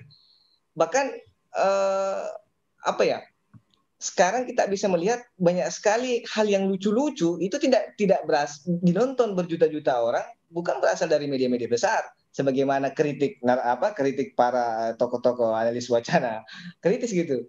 Ya, kita melihat itu sebagai sebuah realitas. Sama saya ini adalah satu fakta yang uh, yang harus dibaca sebagai konteks yang berkembang kekinian gitu karena kalau kita memaksakan bahwa justru sebenarnya saya saya tadi tujuannya meminta pandangan mungkin Kak Firs tadi nanti akan juga menjelaskan ke kita bagaimana sih uh, uh, teori ini juga membaharukan dirinya. Toh juga teori itu upaya untuk menyesuaikan dirinya dengan perkembangan yang ada gitu. Nah, bagaimana teori dalam teori-teori analisis wacana ini juga melihat itu sebagai satu realitas dan hemat saya menjadi terbantu tokoh-tokoh poststrukturalis itu lokalitas itu. Sudah sudah terlihat kan banyak lucuan yang misalkan jatuh di got. Banyak kan aktivitas bukan youtubers juga. Maksudnya suatu yang tidak disengaja. Dan ini juga kalau dikaitkan dengan misalkan uh, bagaimana uh, selera masyarakat itu betul-betul tidak lagi dituntun oleh sepenuhnya media besar. Tetapi misalkan bagaimana sekumpulan masyarakat apa ya se, sekumpulan masyarakat maya yang dari latar yang beda-beda tapi memiliki tense yang sama kecenderungan yang sama dan orang berlomba-lomba membaca tens itu gitu. Orang berlomba-lomba membaca kecenderungan mana yang lebih besar gitu. Misalkan mungkin sekarang eh, apa ya kalau dikuantifikasikan mungkin hal yang sifatnya sek, hal yang sifatnya hiburan. Kalau mau diratingkan itu kan orang berlomba di angka-angka itu gitu. Orang berlomba di angka yang paling atas itu. Nah, bagaimana kira-kira kita dalam uh, sebagai pegiat kajian uh, analisis wacana, khususnya film dan media melihat fenomena ini gitu. Oke Kak Dila atau Kak Firsa silakan uh, bisa ini.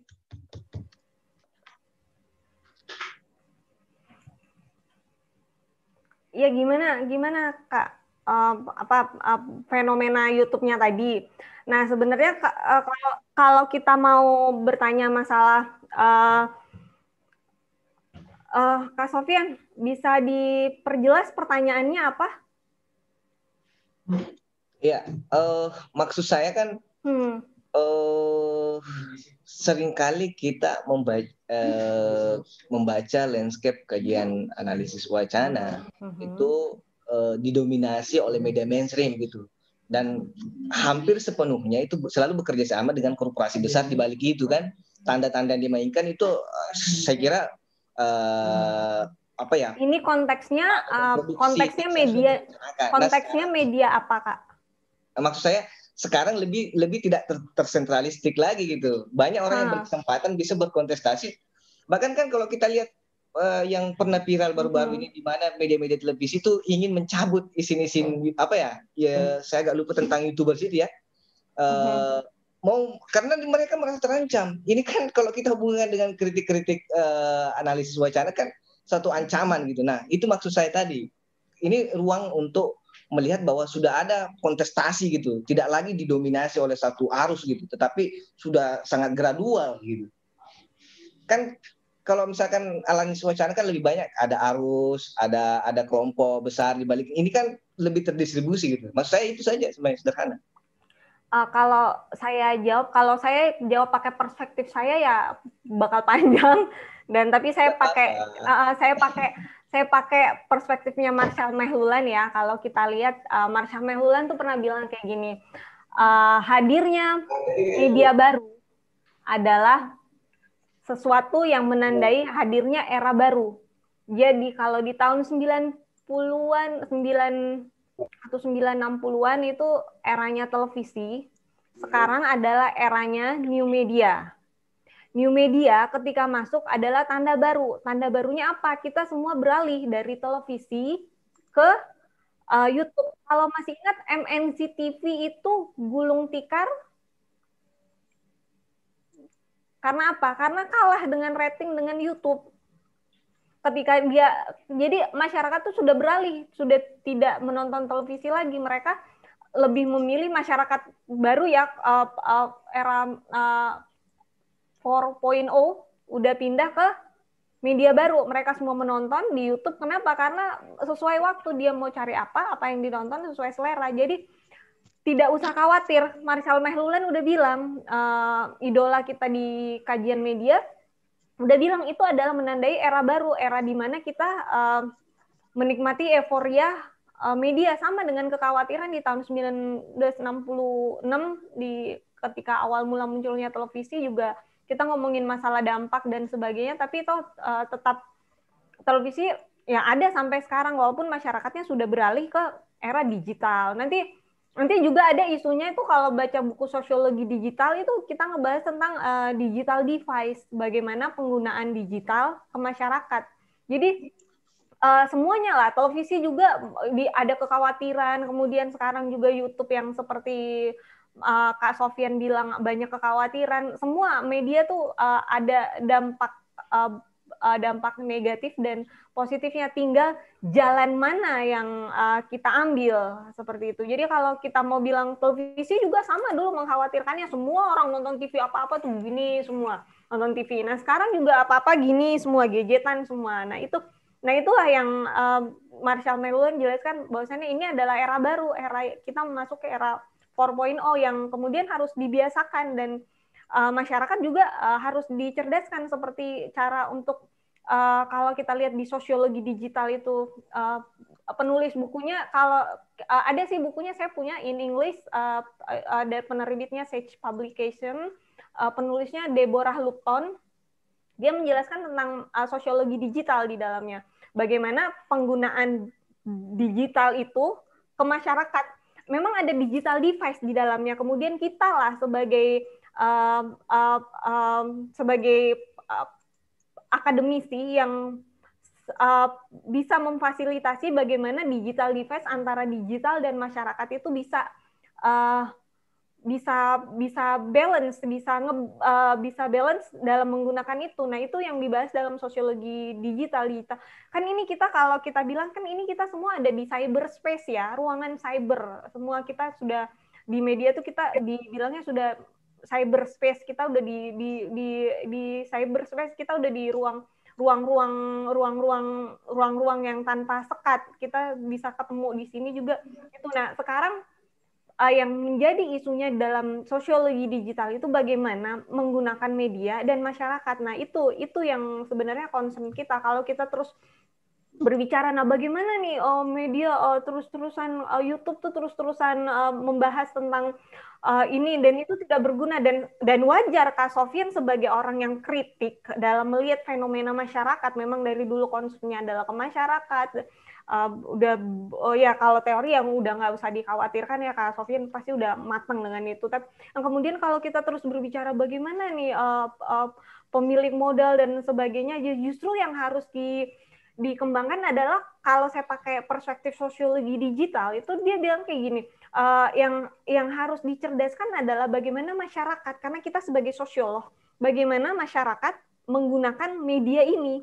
Jadi bisa masyarakat ya contohnya aja uh, bagaimana UMKM bisa berkembang ketimbang kita bicara terus bagaimana media ini seperti YouTube dan media-media baru yang kita gunakan adalah YouTube dan sebagainya bagaimana ini justru bisa memasarkan ini kan yang lagi di negara kita di Indonesia lagi didengung-dengungkan oleh uh, Bapak Jokowi kan bagaimana UMKM digunakan dengan digital device itu? Ketimbang saya ngomong terus tentang media dan bagaimana media menstimulasi simulakra dengan semuanya yang kemudian kajian kita bakal beralih ke komunikasi ataupun fakultas ilmu budaya saya coba kita concern ke uh, cyberspace, bagaimana digital device dimasukkan ke dalam masyarakat. Karena kalau ngomong kita ngomong masalah YouTube dan dampaknya kemudian artis-artis dan semuanya itu yang kemudian kita bakal bicara tentang misleading, kita jatuhnya ke komunikasi. Coba kita lihat bagaimana uh, masyarakat ini menggunakan digital device. Sekarang era 4.0, uh, keponakan saya umur 2 tahun, papa mamanya orang Bugis, papanya orang Jawa, tapi dia ngomong bahasa Inggrisnya lancar.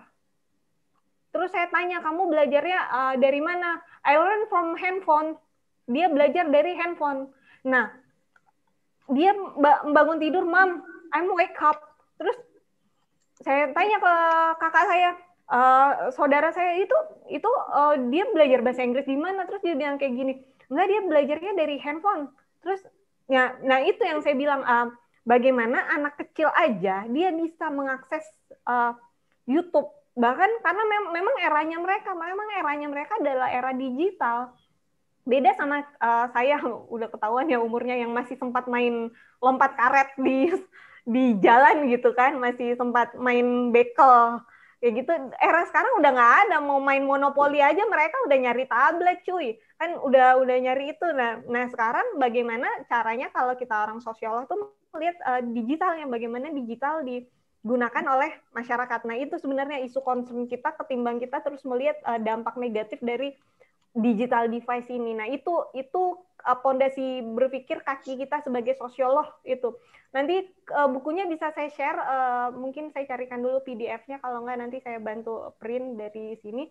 Itu nanti ada bukunya Deborah Lupton, uh, Sosiologi Digital warnanya warnanya hitam. Itu itu bagus untuk dibaca. Uh, dan nggak ada dijual. Dia dari Sage Publication. Nanti saya ada bukunya dan nanti insya Allah kalau ada waktu saya share. Itu aja mungkin daripada kita dari tadi ngomongin bagaimana konstruksi realitas Peter Elber kan memang menarik tapi setidaknya kita mengingat hakikat kita sebagai sosiolog dan yang dengar kita juga ini saya percaya bakal sosiolog-sosiolog besar ke depannya dan bagaimana kita concern kita dari um, ya konstruksi realitas Peter Elberger dan kemudian kita melihat digital device dengan penggunaan masyarakat memberdayakan masyarakat itu jauh lebih lebih isu penting untuk melihat media ya. Kalau untuk teks, kalau kenapa bahas teks-teks media itu mungkin kita bakal lihat bagaimana simulasi simulakra berkembang lah Zombo Drillet yang mungkin uh, kita juga punya sesi berikutnya yang menjadi concern yang penting adalah bagaimana budaya populer analis teks itu ya kembali lagi kalau kita berbicara masyarakat ya bagaimana penggunaan digital ke masyarakatnya itu mungkin sebagai uh, uh, gongnya kita malam ini terima kasih Ya, terima kasih Kak Fadila. Mungkin sangat menarik bagi saya uh, karena uh, seperti yang dikatakan tadi Kak Fadila bahwa hadirnya media baru menandai hadirnya era baru. Nah, uh, yang menjadi pertanyaan pertanyaan sebenarnya Kak banyak sekali pertanyaan yang di kolom chat. Apakah kita mau bahas ini atau mungkin masih dilanjut karena masih ada tanggapan dari Kak Sofian? Tidak, tidak, silakan, silakan bisa mungkin ada. Ya. Saya mengikut aja, maunya baiknya gimana? Ya.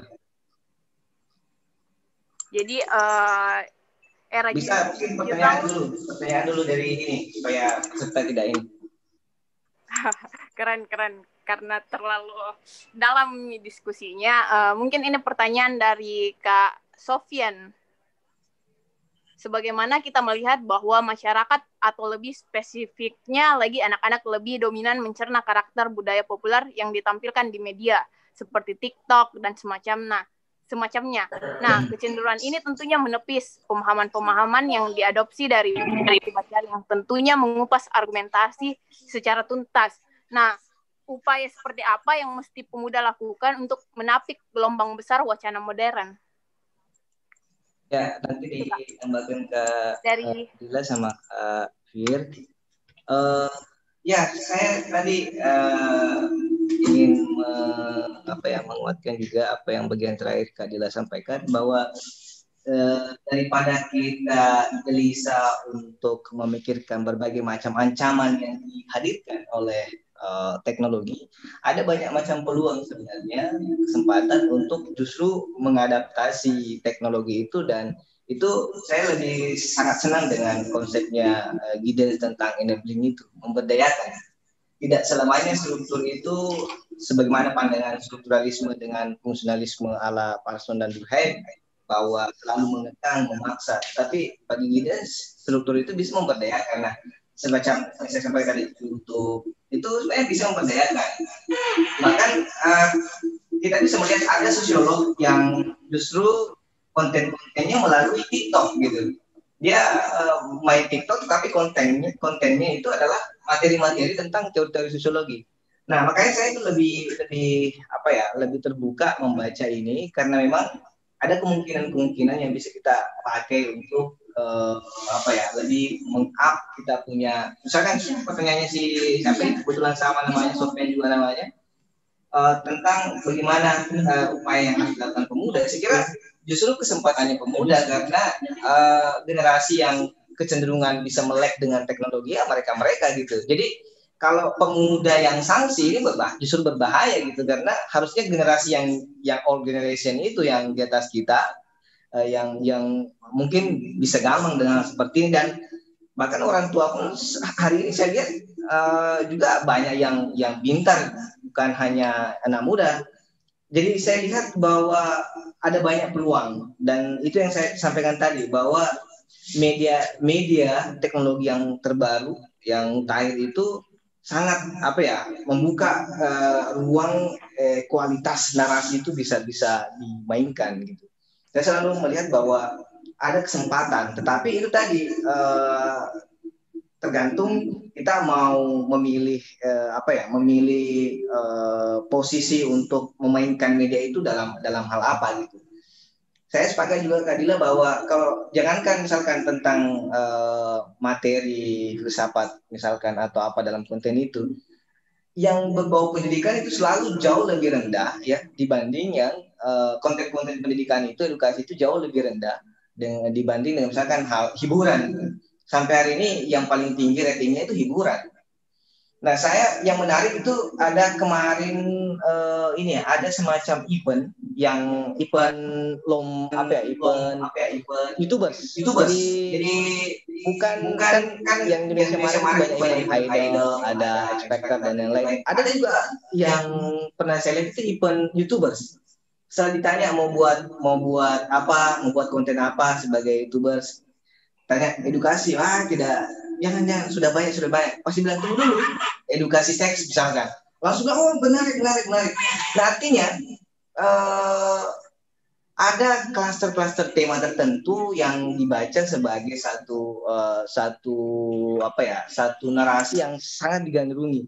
Nah, kalau kita mengejar adalah uh, viewers, uh, tontonan, uh, apalagi hal-hal uh, yang sifatnya uh, popularitas di konten itu ya itu pilihan. Tetapi kalau kita memilih yang lebih berat-berat juga saya kira itu pilihan. Dan kita tidak menjadi tidak bahagia dan berbahagia hanya karena uh, subscribernya kurang dan penontonnya kurang. Saya kira itu bukan bukan tujuan gitu. Tapi kalau kita memanfaatkan media sebagai satu sarana untuk mengeksplorasi kita punya gagasan, apalagi sebagai media pembelajaran, sah-sah saja saya kira.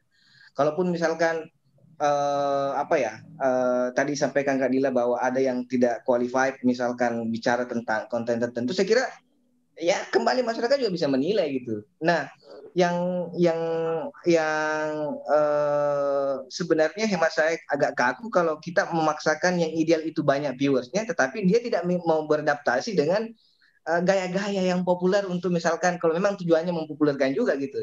Tapi dia mengkritisi misalkan wah kenapa saya sedikit ini gitu. Hemat saya itu tidak terlalu melek membaca uh, persaingan gitu, persaingan dalam uh, bermedia sosial karena Mas saya yang serius pun kalau bisa disampaikan dengan sederhana, mungkin spotnya yang yang yang menarik. Saya kira itu juga bisa menjadi satu eh, satu apa ya satu item yang bisa uh, mempengaruhi gitu uh, banyaknya penonton misalnya kalau targetnya itu gitu. Dan kita tidak harus memaklumi itu karena sedangkan yang yang remeh-temeh saja banyak penontonnya tidak ada konten edukasinya sedikit pun banyak penonton kita juga tidak tidak apa tidak tidak protes bagaimana gitu apalagi dengan orang-orang yang hanya salah karena mengeksplorasi gagasannya misalkan dengan uh, menggunakan itu saya kira sah-sah saja tentu masyarakat juga bisa menilai mana yang apalagi ke, kayak Kadila ya tentu bisa sekali menilai mana yang harus di, diikuti gitu kalau misalkan bicara tentang anatomi teori tertentu gitu dengan orang-orang umum gitu Nah, itulah eh, apa ya respon saya terhadap eh, pertanyaan pertama. Mungkin bisa dibagi-bagi saja. Nanti juga kalau mau ditambahkan di eh, pertanyaan ini untuk narasumber lain atau teman-teman yang silakan.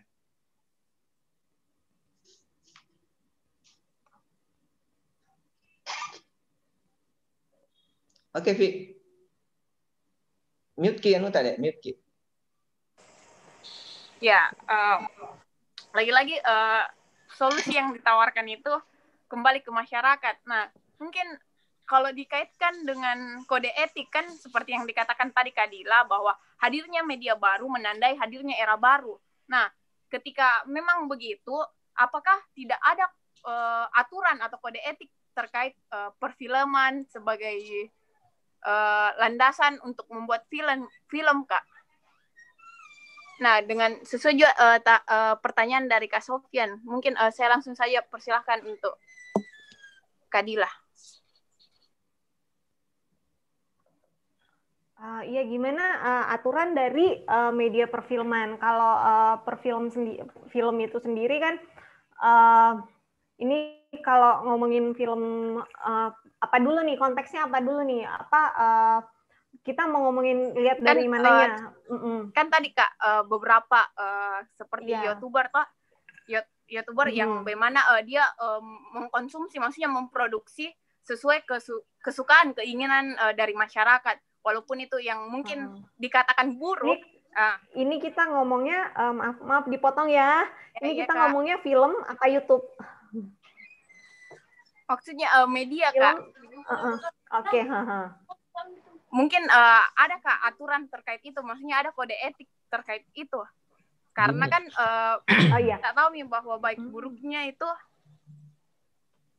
itu kak ya ya nanti ya, nanti ya. saya di, di ada pertanyaan itu di chat bisa juga direspon ada beberapa oh iya baik saya baca ada. ya kak, kak Fir juga sebentar uh, Ya, jadi kalau kalau ini konteksnya kalau misalkan di film, apakah uh, pertanyaannya adalah apakah uh, ada ada ada aturannya? Apa ada ada rule-nya yang mengatur? Kalau di film sendiri kan kita harus berangkat ya dari sejarah perfilman. Jadi uh, untuk membahas sesuatu tuh kita tuh harus melihat dari belakang dari belakang. Kalau misalkan di film film film Indonesia kan sebenarnya uh, uh, kalau saya, saya, saya kita ngomongin film populer tuh dari tahun 98 kemudian ke era reformasi.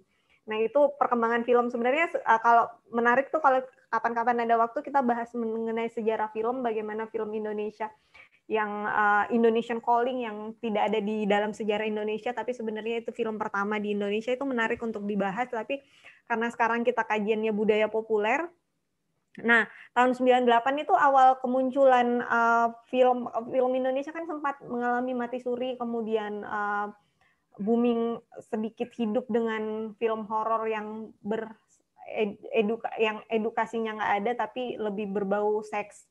Kemudian uh, masuk tahun 2002 uh, Indonesia uh, perfilman Indonesia sempat uh, bangkit dengan ada apa dengan cinta. Nah, itulah yang membawa uh, budaya populer ke Indonesia. Nah, apa yang ditampilkan? Nah, itu dia kalau dilihat dari semiotika ada tanda.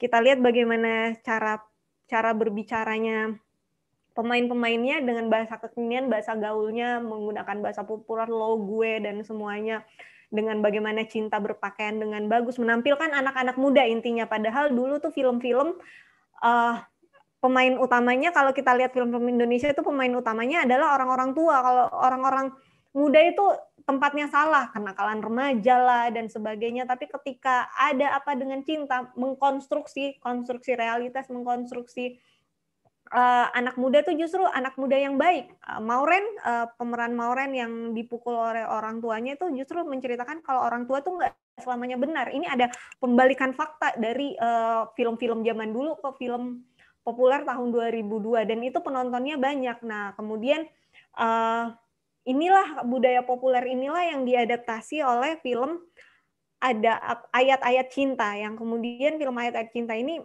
uh, menampilkan budaya populer, menampilkan Fahri. Nah, itulah tanda yang kata uh, analisis semiotika itu ada tanda objek di dalamnya. Bagaimana menciptakan remaja anak muda, saya mau jadi anak muda soleh tapi uh, maunya pakaiannya keren. Nah, ditampilkanlah uh, si Fahri. Kemudian diadaptasi oleh film 99 cahaya di langit Eropa misalnya uh, kemudian tampil lagi di Assalamualaikum Beijing yang menampilkan bagaimana kota Beijing yang terus-terus kamera tuh disorot tuh keindahan kota 99 cahaya juga yang disorot tuh terus uh, uh, uh, bagaimana Eropa keindahan Eropa menampilkan kom, uh, konsep place di dalamnya. Nah, itu kalau sejarah film. Nah, apakah ada yang mengatur itu kita kan ada kalau apakah ada yang kalau udah masalahnya udah kayak gini apakah sebenarnya ada yang memfilter di dalamnya nah itu dia uh, kita yang sebagai akademisi justru melihat analis tadi kan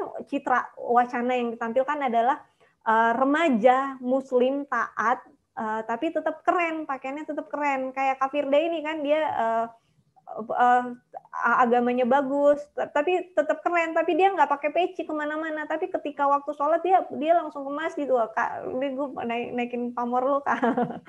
Entahnya terakhir okay. ya, terus yeah. Iya. uh, kayak gitu kan dia menampilkan mm. kayak gitu dulu mana yeah. ada orang kiai kiai pakai jaket dan semuanya. Tapi sekarang mah booming, Sofian juga yang agamanya kuat kemudian bisa berkemeja, ngomongnya juga terbuka. Sebagaimana Fahri juga terbuka kan dia dia membantu uh, wartawan Amerika yang bernama Ellis, dia bantu memberikan informan dan sebagainya dengan pemikirannya terbuka. Dia walaupun tetap dengan salamannya tidak pegangan itu kan seperti apa yang kita lihat anak-anak muda. Justru Mas Sofian, Kak Sofian justru bisa kita lihat dia dia Islami tapi dia nggak pernah kita nggak pernah lihat juga dia pakai peci dan baju koko ke mana-mana, kemudian bertasbih ke mana-mana nggak ada juga. Tapi dia begitu uh, waktu sholat dia sholat dan tetap keimanan untuk diri, diri dia sendiri. Nah itu yang dilihat dari wacana. Kemudian wacana kritis melihat apa sih dibaliknya, kenapa? Oh ternyata dia uh, dengan uh, memakai uh, memakai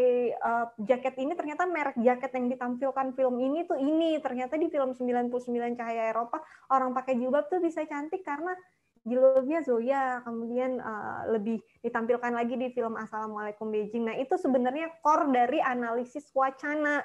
Jadi uh, itu yang apa yang ditampilkan wacana, kemudian wacana kritis melihat apa ideologi yang bermain bahwasannya ada ketidakberesan di masyarakat.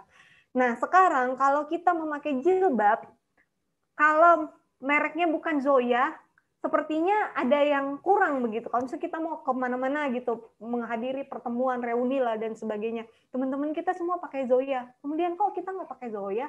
Kayak gitu kan. Nah itu itu sebenarnya itu yang dilihat analis wajah kritis apa yang ada di belakangnya. Lebih jauh lagi dengan pandangan Baudrillard mengatakan apa benar semua orang yang memakai jilbab um, ini kita pakai analis wacana kritis ya keimanannya bagus. Karena dulu kalau orang memakai jilbab tidak ada yang keren dan ini uh, tapi keimanannya tidak uh, sedi mereka tuh keimanannya bisa dipegang lah. Zaman dulu ya zaman dulu ini common sense. Kemudian sekarang dipertanyakan apakah uh, justru uh, nggak memakai jilbab tuh aneh. Saya sendiri merasakan ya, saya seorang muslim yang tidak mengenakan uh, simbol keislaman dalam diri saya, kemudian saya ke masjid sholat, terus tiba-tiba di samping saya nanya, Mbak, Mbaknya mualaf ya? Terus dia lihat muka saya tuh ada korek-koreknya kayak gitu, Mbak mualaf mualaf ya? Terus saya bilangnya kayak gini, enggak saya Islam dari lahir, kok nggak berjilbab? Nah itu, kemudian itu ternyata kalau dulu orang dari era uh, Orde Baru sebelum film media ini booming ayat-ayat cinta 99 apalah semuanya ketika cinta bertasbih sebelum itu booming muslimah yang tidak memakai jilbab itu terlihat biasa saja tapi ketika film itu sudah booming nggak memakai jilbab justru aneh anak sekolah semuanya berubah tiba-tiba ke sekolah pada pakai gamis kalau dia tidak berpakaian itu jadinya aneh. Nah itu yang disorot oleh wacana kritis. Nanti cara-caranya mungkin ada bisa baca bukunya Jagermeyer, uh, Michel Foucault, kemudian ya nanti itu kalau dibahas sekarang nggak akan habis. Nah itu sebenarnya core dari biar kita ngomongnya nggak lari-lari ya, uh, core-nya dari analisis wacana dan budaya populer itu core core core berpikirnya. Itu saya ambil case film.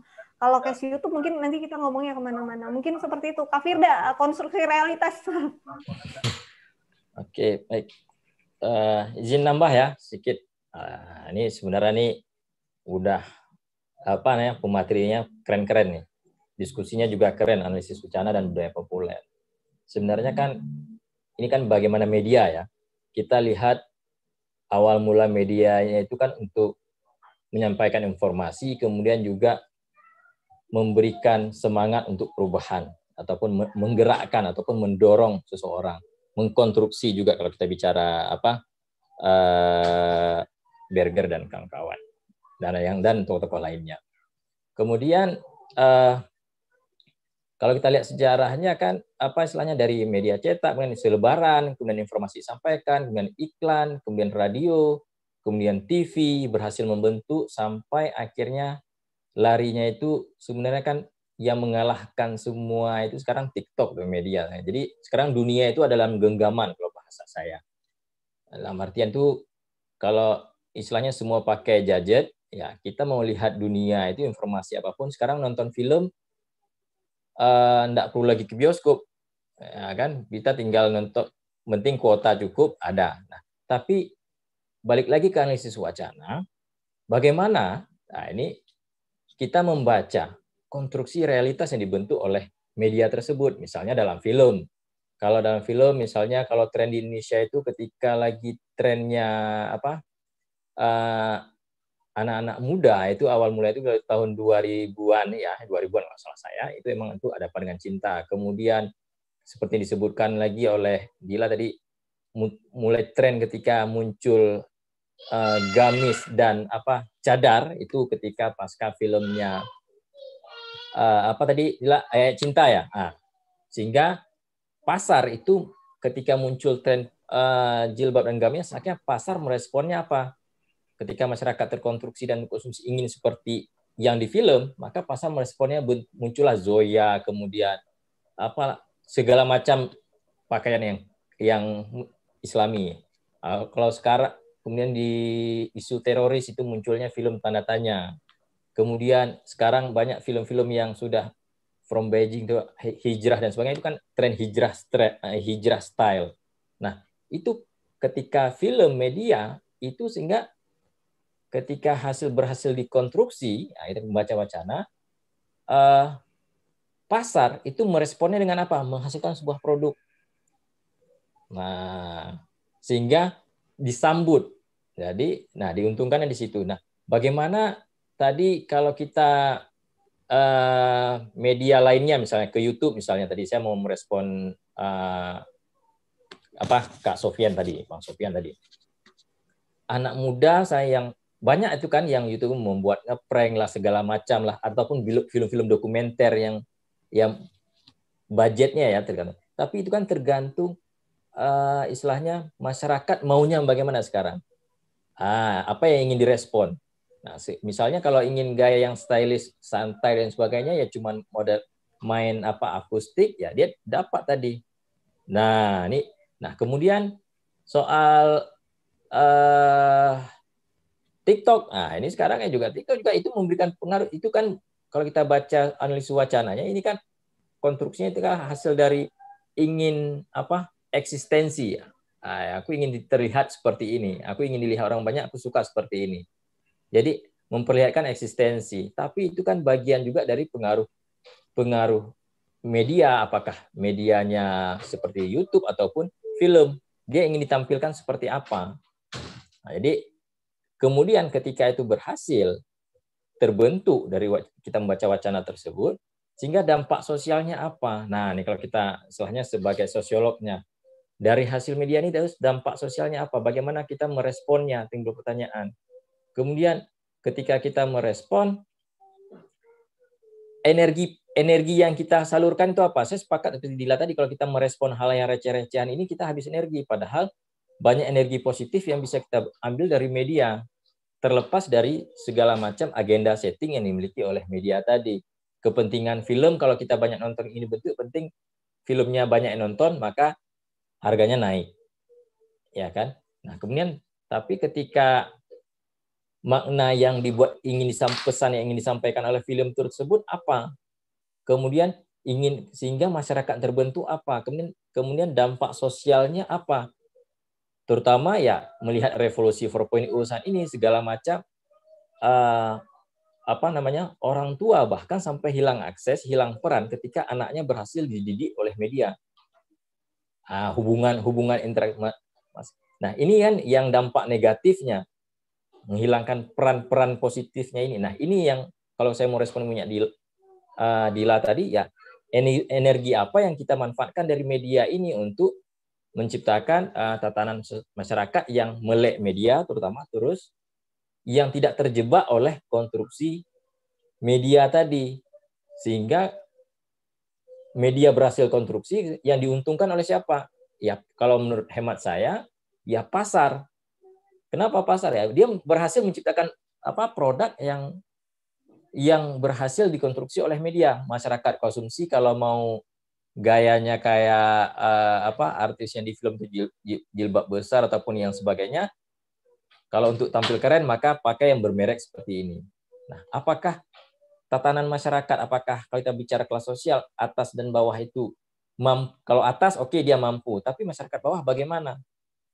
Dan kemudian ketika dia memaksa itu apa yang terjadi? Hutang hutang nggak sanggup bayar hutang kriminal mati dan sebagainya. Akhirnya apa chaos di masyarakat. Nah ini yang nampak bagaimana, bagaimana ini kita respon menanggapi kalau pertanyaan saya ini kita semua bagaimana kita apa istilah mengkapitalisir media ini untuk menjadi energi positif. Karena apa? Uh, istilahnya karena Marx saja gagal kan kalau misalnya istilahnya mengatakan kapitalisme akan mati Dila ya. Ternyata makin makin membumi dia, makin besar bahkan makin jadi dia. Nah, ini bagaimana kita mengkooptasi kapitalis ini, ya, jangan terjebak. Nah, semua nah, seperti itu ya itu. Izin ya. Nah, cuma sebelumnya saya juga mohon maaf sudah memantik. Saya izin pamit uh, karena ada apa kajian diskusi tempat lain. Mohon maaf nih, tapi diskusinya keren. Mantap, mantap. Terima kasih, Kak Dirda. Terima kasih Kak Firdaus. Share, Mungkin Dila, mau, ya. di, Dila ya, jangan lupa share ya bukunya. Ya, Ditunggu. Ya, Kak. Nanti Ditagi kalau... nanti. jangan udah promo tapi nggak di-share. Iya, Kak, sekalian buku saya dibalikin, Kak. Eh? Oke, terima kasih. Yuk, Assalamualaikum. Selamat malam. Assalamualaikum. Kadila ya, mungkin, masih ada. Iya, mungkin kalau kalau mau lihat kajian uh, Firelaw ini ada teman saya kebetulan dia alumni S2 UGM Kajian Budaya Media Jalal. Lalu kalau masih online uh, ini minta ya, tolong ya, silakan. kajian, betul, kajian Firelaw-nya. Sekira komennya juga mantap-mantap. Iya, ini kebetulan teman saya saya sering nulis tentang media sama dia. Dia dia uh, S2-nya ngebahas tentang konstruksi realitas tapi di dari kajian budaya kemudian kayaknya Jalal Lal kayak kayaknya dia lagi nggak on deh online kayaknya. Ya kayaknya dia lagi nggak online udah lanjut aja. Uh, masih ada satu pertanyaan saya lihat iya. uh, Aryo ya. Tadi ya ini harus dijawab karena dari tadi saya lihat uh, menunggu sepertinya ya. Saya iya, iya Pak. Iya Pak, siap siap. Ini. Apalagi tuh, tuh, ada. latar buku di belakangnya itu menandakan kualitas pertanyaan biasanya. Aduh. itu kan sebenarnya. Ini Kak, uh, pertanyaannya dari Kak Aryo. Iya, iya, iya. Apakah dalam perkembangan teknologi saat ini mampu memberikan pengaruh yang besar bagi seorang individu? Dalam hal ini calon kepala daerah khususnya dalam kontestasi politik dari segi tanda yang digunakan dalam mempengaruhi pilihan di masyarakat. Api. Adila mungkin dulu. Saya ngejawab. Sebenarnya eh, tadi nih ya kalau jawaban kalau tentang uh, apa uh, uh, politik ya sebenarnya Kak Firda tadi itu ahlinya, tapi kalau untuk analis wacana kritis itu Jalal Jalal sama saya memang concern kita berdua di analis wacana kritis. Uh, terus kalau ngomong ini uh, Mas Sofian kayaknya. Mas Sofian dulu nanti saya tambahkan. Silakan, Kak. Oke. Okay. Uh, eh, Apa mau saya? Mau saya yang jawab? Ya mau dong. Kak Sofian dulu. Oke. Okay. Sofian. Tidak apa-apa, ah, nanti Kak Dila sebagai suhunya itu kita kasih. Tidak apa-apa, saya sedikit saja uh, Kak Aryo ya, makasih atas. Ya, Ini kan kalau kita kalau kita lihat hadirnya media, apa? Lanjut sebentar. Oh, ya.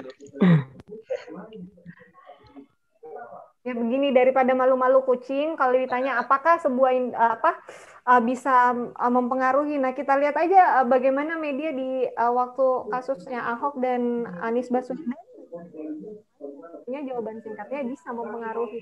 Kenapa Jokowi bisa uh, berhasil juga karena berapa kali media mengangkat namanya Jokowi kan bisa terkenal dari media ya. Dia mampu memainkan media. Nah, jawaban singkatnya ya seperti itu. Mungkin kalau jawaban yang lebih jelasnya silakan Kak Sofian. Uh, tentu tidak seperti itu ya saya bisa jawab lebih baik ya tentu.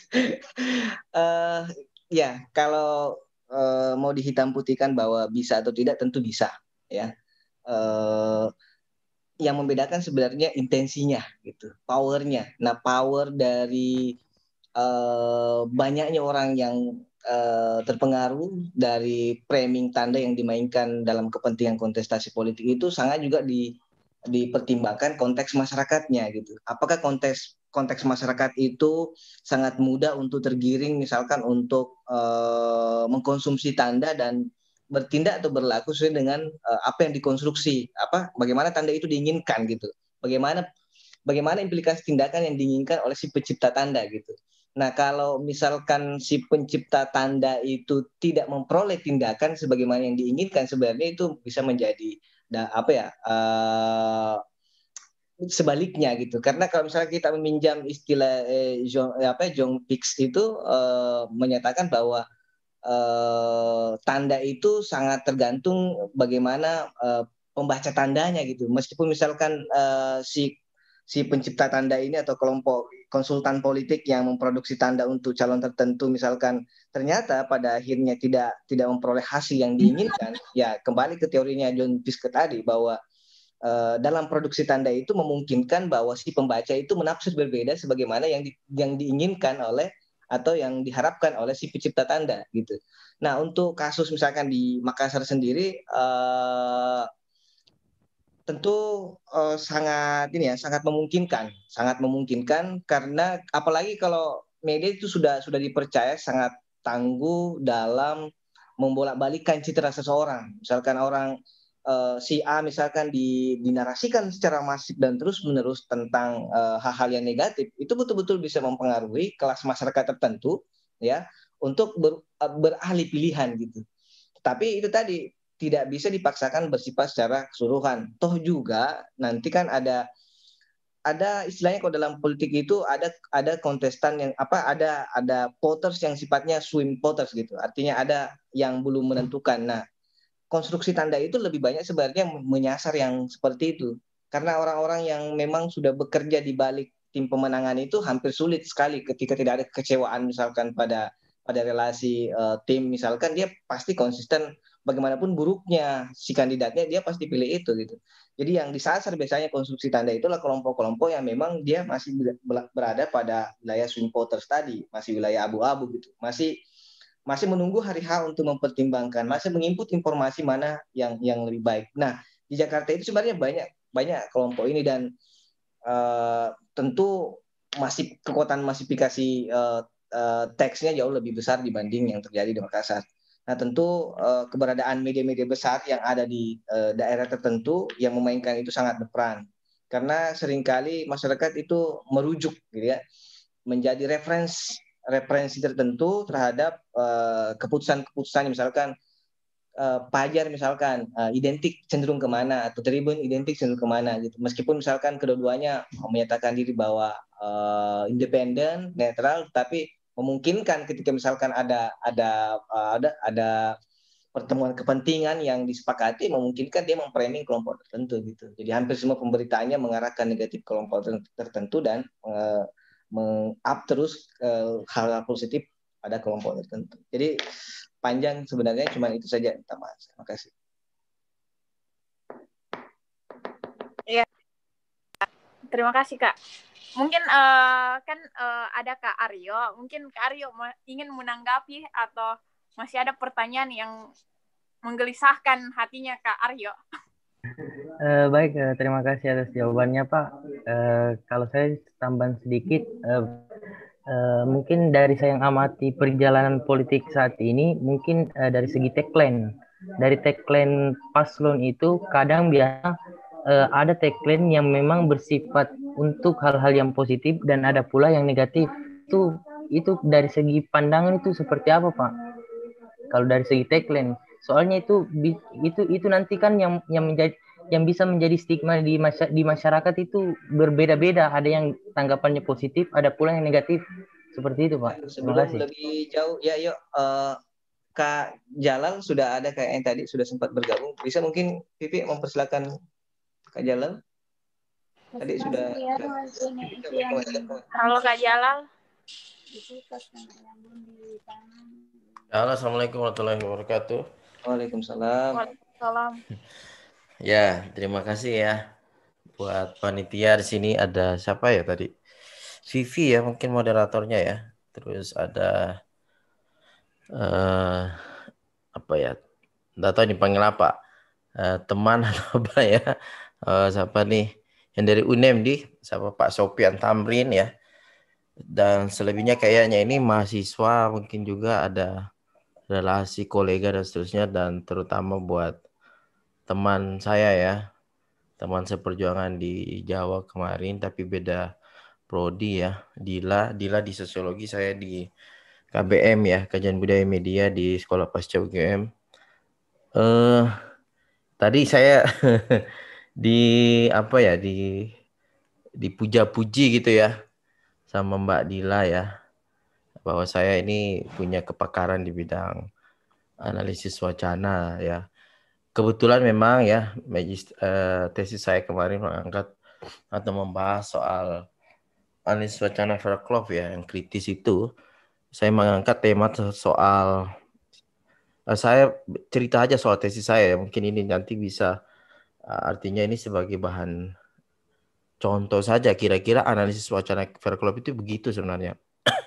Uh, saya bahas soal bagaimana kemudian media lokal ya apa Tribun Timur dan Fajar itu uh, merekonstruksi ya. Kira-kira begitu merekonstruksi uh, mahasiswa Makassar dalam setiap aksi demonstrasi mereka yang cenderung itu selalu berujung anarkis itu loh. Itu tesis saya kemarin ya di sana nah kesimpulan saya ya kesimpulan saya bahwa ternyata itu Tribun Timur itu cenderung mengkonstruksi, merekonstruksi mahasiswa itu lebih vulgar, ya, lebih tanda kutip ya, tanda kutip lebih kriminal, kira-kira gitu, lebih bandit lah, lebih preman, itu Tribun Timur ya. Sementara kalau Fajar itu merekonstruksi mahasiswa eh, dilihat dari aspek atau sisi kemanusiaannya. Jadi sebelum dia menceritakan uh, sosok mahasiswa, terlebih dahulu dia mengangkat uh, korban-korban dari tindakan anarkis mahasiswa. Ya, demonya. Jadi ada misalnya ada ibu hamil yang terpaksa jalan kaki ya kan gara-gara PT-PT-nya itu tidak bisa uh, jalan dan seterusnya. Terus ada anak SMP yang kena batu lemparan dan seterusnya. Itu itu kalau Fajar. Nah, kalau Tribun dia tunjukin bagaimana kemudian mahasiswa naik ke mobil dinas, bagaimana mahasiswa menerbangkan badi, mengangkat bambu gitu tuh. Jadi dua perspektif yang berbeda ini ternyata Tribun dengan Fajar. Tapi ujungnya deh teman-teman semua, ya kan, ujungnya itu merekonstruksi mahasiswa sebagai uh, entitas yang yaitu tadi saya bilang entitas yang uh, rebellion yang pemberontak itu. Cuman prosesnya, caranya bagaimana mereka punya uh, mainan sendiri-sendiri lah. Kira-kira begitu. Nah, kalau kita menggunakan Fairclough, tiga analisisnya itu yaitu teks, ya kan, discourse praktis, dan juga yang terakhir tadi saya sebut yaitu social culture practice ya. Teks itu tentu bahasanya, beritanya. Discourse praktis, praktis itu itu bagaimana teks itu diproduksi, sementara social cultural practice itu itu sesuatu yang di luar dari teks.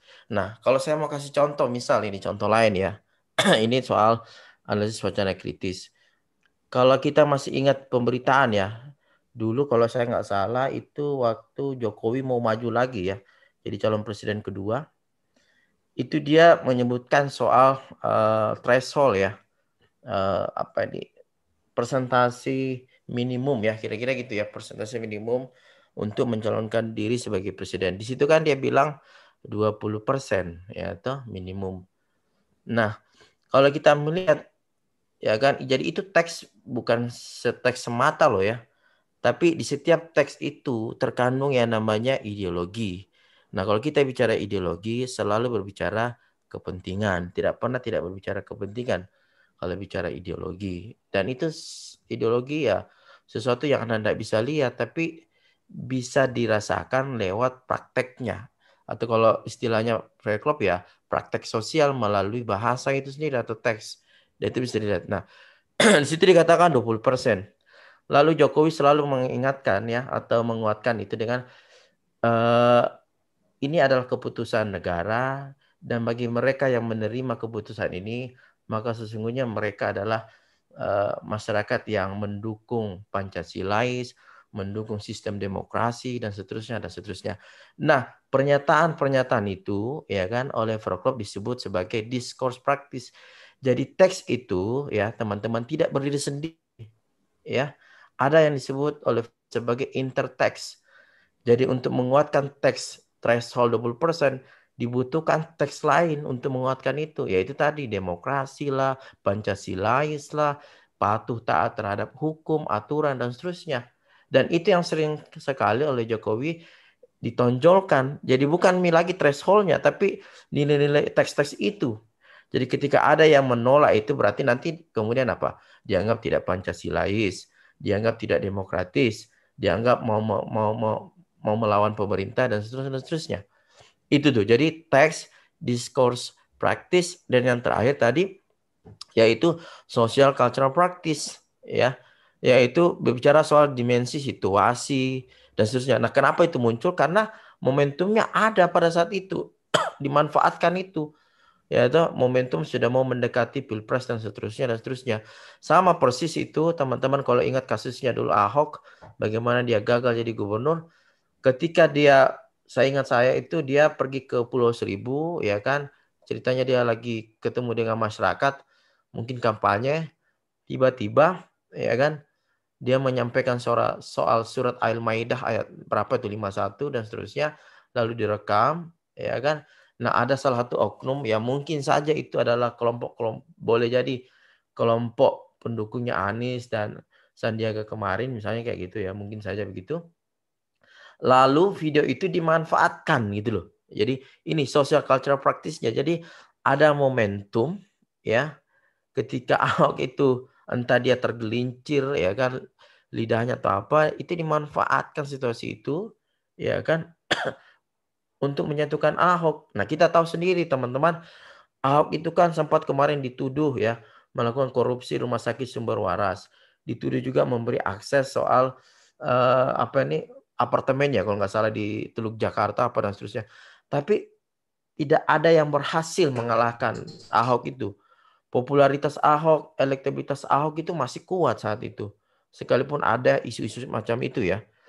Nah, tapi nah, tapi terjadi popularitasnya turun bahkan sampai ditangkap gara-gara soal agama dan ini persis kata Burger itu bahwa ketika kamu pasrah ya kan pesimis mengalahkan lawan politikmu dengan berbagai uh, aspek. Kata itu politik hukum dan itu kamu tidak mampu maka gunakanlah agama untuk mengalahkan lawan politikmu. Dan itu betul terjadi. Ahok kalah pada saat itu. Jadi itu itu ya. Kalau kita lihat analisisnya uh, Fairclough. Jadi teks discourse praktis dan juga social cultural practice itu sendiri. Ya kan? Jadi momentum itu sangat penting sebenarnya. Jadi kalau kita sudah uh, apa kelewat momentumnya apa orang nanti lu sudah lupa itu. Ya kan? Misal sekarang ini ya kita lihat Habib Rizik ya. Seperti kayak gitu. Jadi uh, bagaimana kemudian ada momentum dia tanda kutip ya uh, melakukan semacam perkumpulan gitu ya, masa dan seterusnya. Ah, momentumnya ada nih didapat oleh pemerintah toh. Jadi di, bagaimana kemudian peristiwa itu dipaksa masuk dalam ranah pidana. Jadi kita lihat sekarang itu uh, mulai dari rumah sakit yang menangani dia, dokter pribadinya, wah semua diusut deh. Saya sampai bertanya-tanya, ya tuh saya bila bagaimana kalau orang biasa gitu loh. Orang biasa kayaknya enggak sampai segitu banget deh. Tapi karena ini lawan politiknya rezim sekarang, ya kan termasuk Anies Baswedan juga mulai sekarang dicari-cari kekurangannya, celahnya, kesalahannya, yaitu jadi momentum ini yang dicari sekarang oleh lawan politik Anies maupun misalnya Habib Rizik ataupun juga Gatot Nurmantio. Jadi momentum itu persis dibilang Haris Asar itu ya, salah satu aktivis. Ya saya sama Rocky Gerung ini belum tangkap karena momentumnya aja belum dapat gitu ya. Kalau ada salah-salah kata di YouTube atau di media sosial, udah kena kami. Jadi momentum itu sangat penting. Dengan dalam arti momentum itu dapat memperkuat argumentasi sekaligus memperkuat rasionalitas uh, si produsen teksnya. Sekali lagi, sekaligus merasionalkan atau memformilkan gitu ya. Memformilkan ras, uh, argumentasi atau pikiran dari si produsen teksnya. Jadi kan kelihatan tuh ya ada undang-undang karantina ya. Jadi itu argumentasi itu yang dipakai untuk menjatuhkan ya kan untuk mempidanakan nantinya mungkin Habib Rizik dan seterusnya. Jadi itu momentum itu. Jadi momentum bukan hanya sekedar, sekedar waktu, periode, tapi di situ ada semacam ya boleh dikatakan relasi power juga ya. Saya pikir begitu. Mungkin gitu saja sih. ya. Soalnya udah lama ya enggak enggak enggak nyentuh masalah analisis wacana di, di di kampus saya sendiri di UIN ya Alauddin Makassar saya sering saya sering sekali itu ya diberi kepercayaan membimbing menguji anak mahasiswa itu dari perspektif semiotika. Itu yang paling sering saya dapatkan. Macam-macam analisis wacana ini waduh kalau tidak disuruh dipaksa oleh Dila Mbak Dila ya saya tidak buka. Kira-kira begitu ya. Jadi ini ceritanya udah udah lama nostalgia lagi dengan uh, fair club. Saya kira begitu deh, tidak usah terlalu banyak nanti takutnya ada salah-salah kata atau melebar ke mana-mana ya. Begitu, Dek moderator. Terima kasih. Terima kasih, Kak. Terima kasih banyak. Ya. Terima kasih, Kak.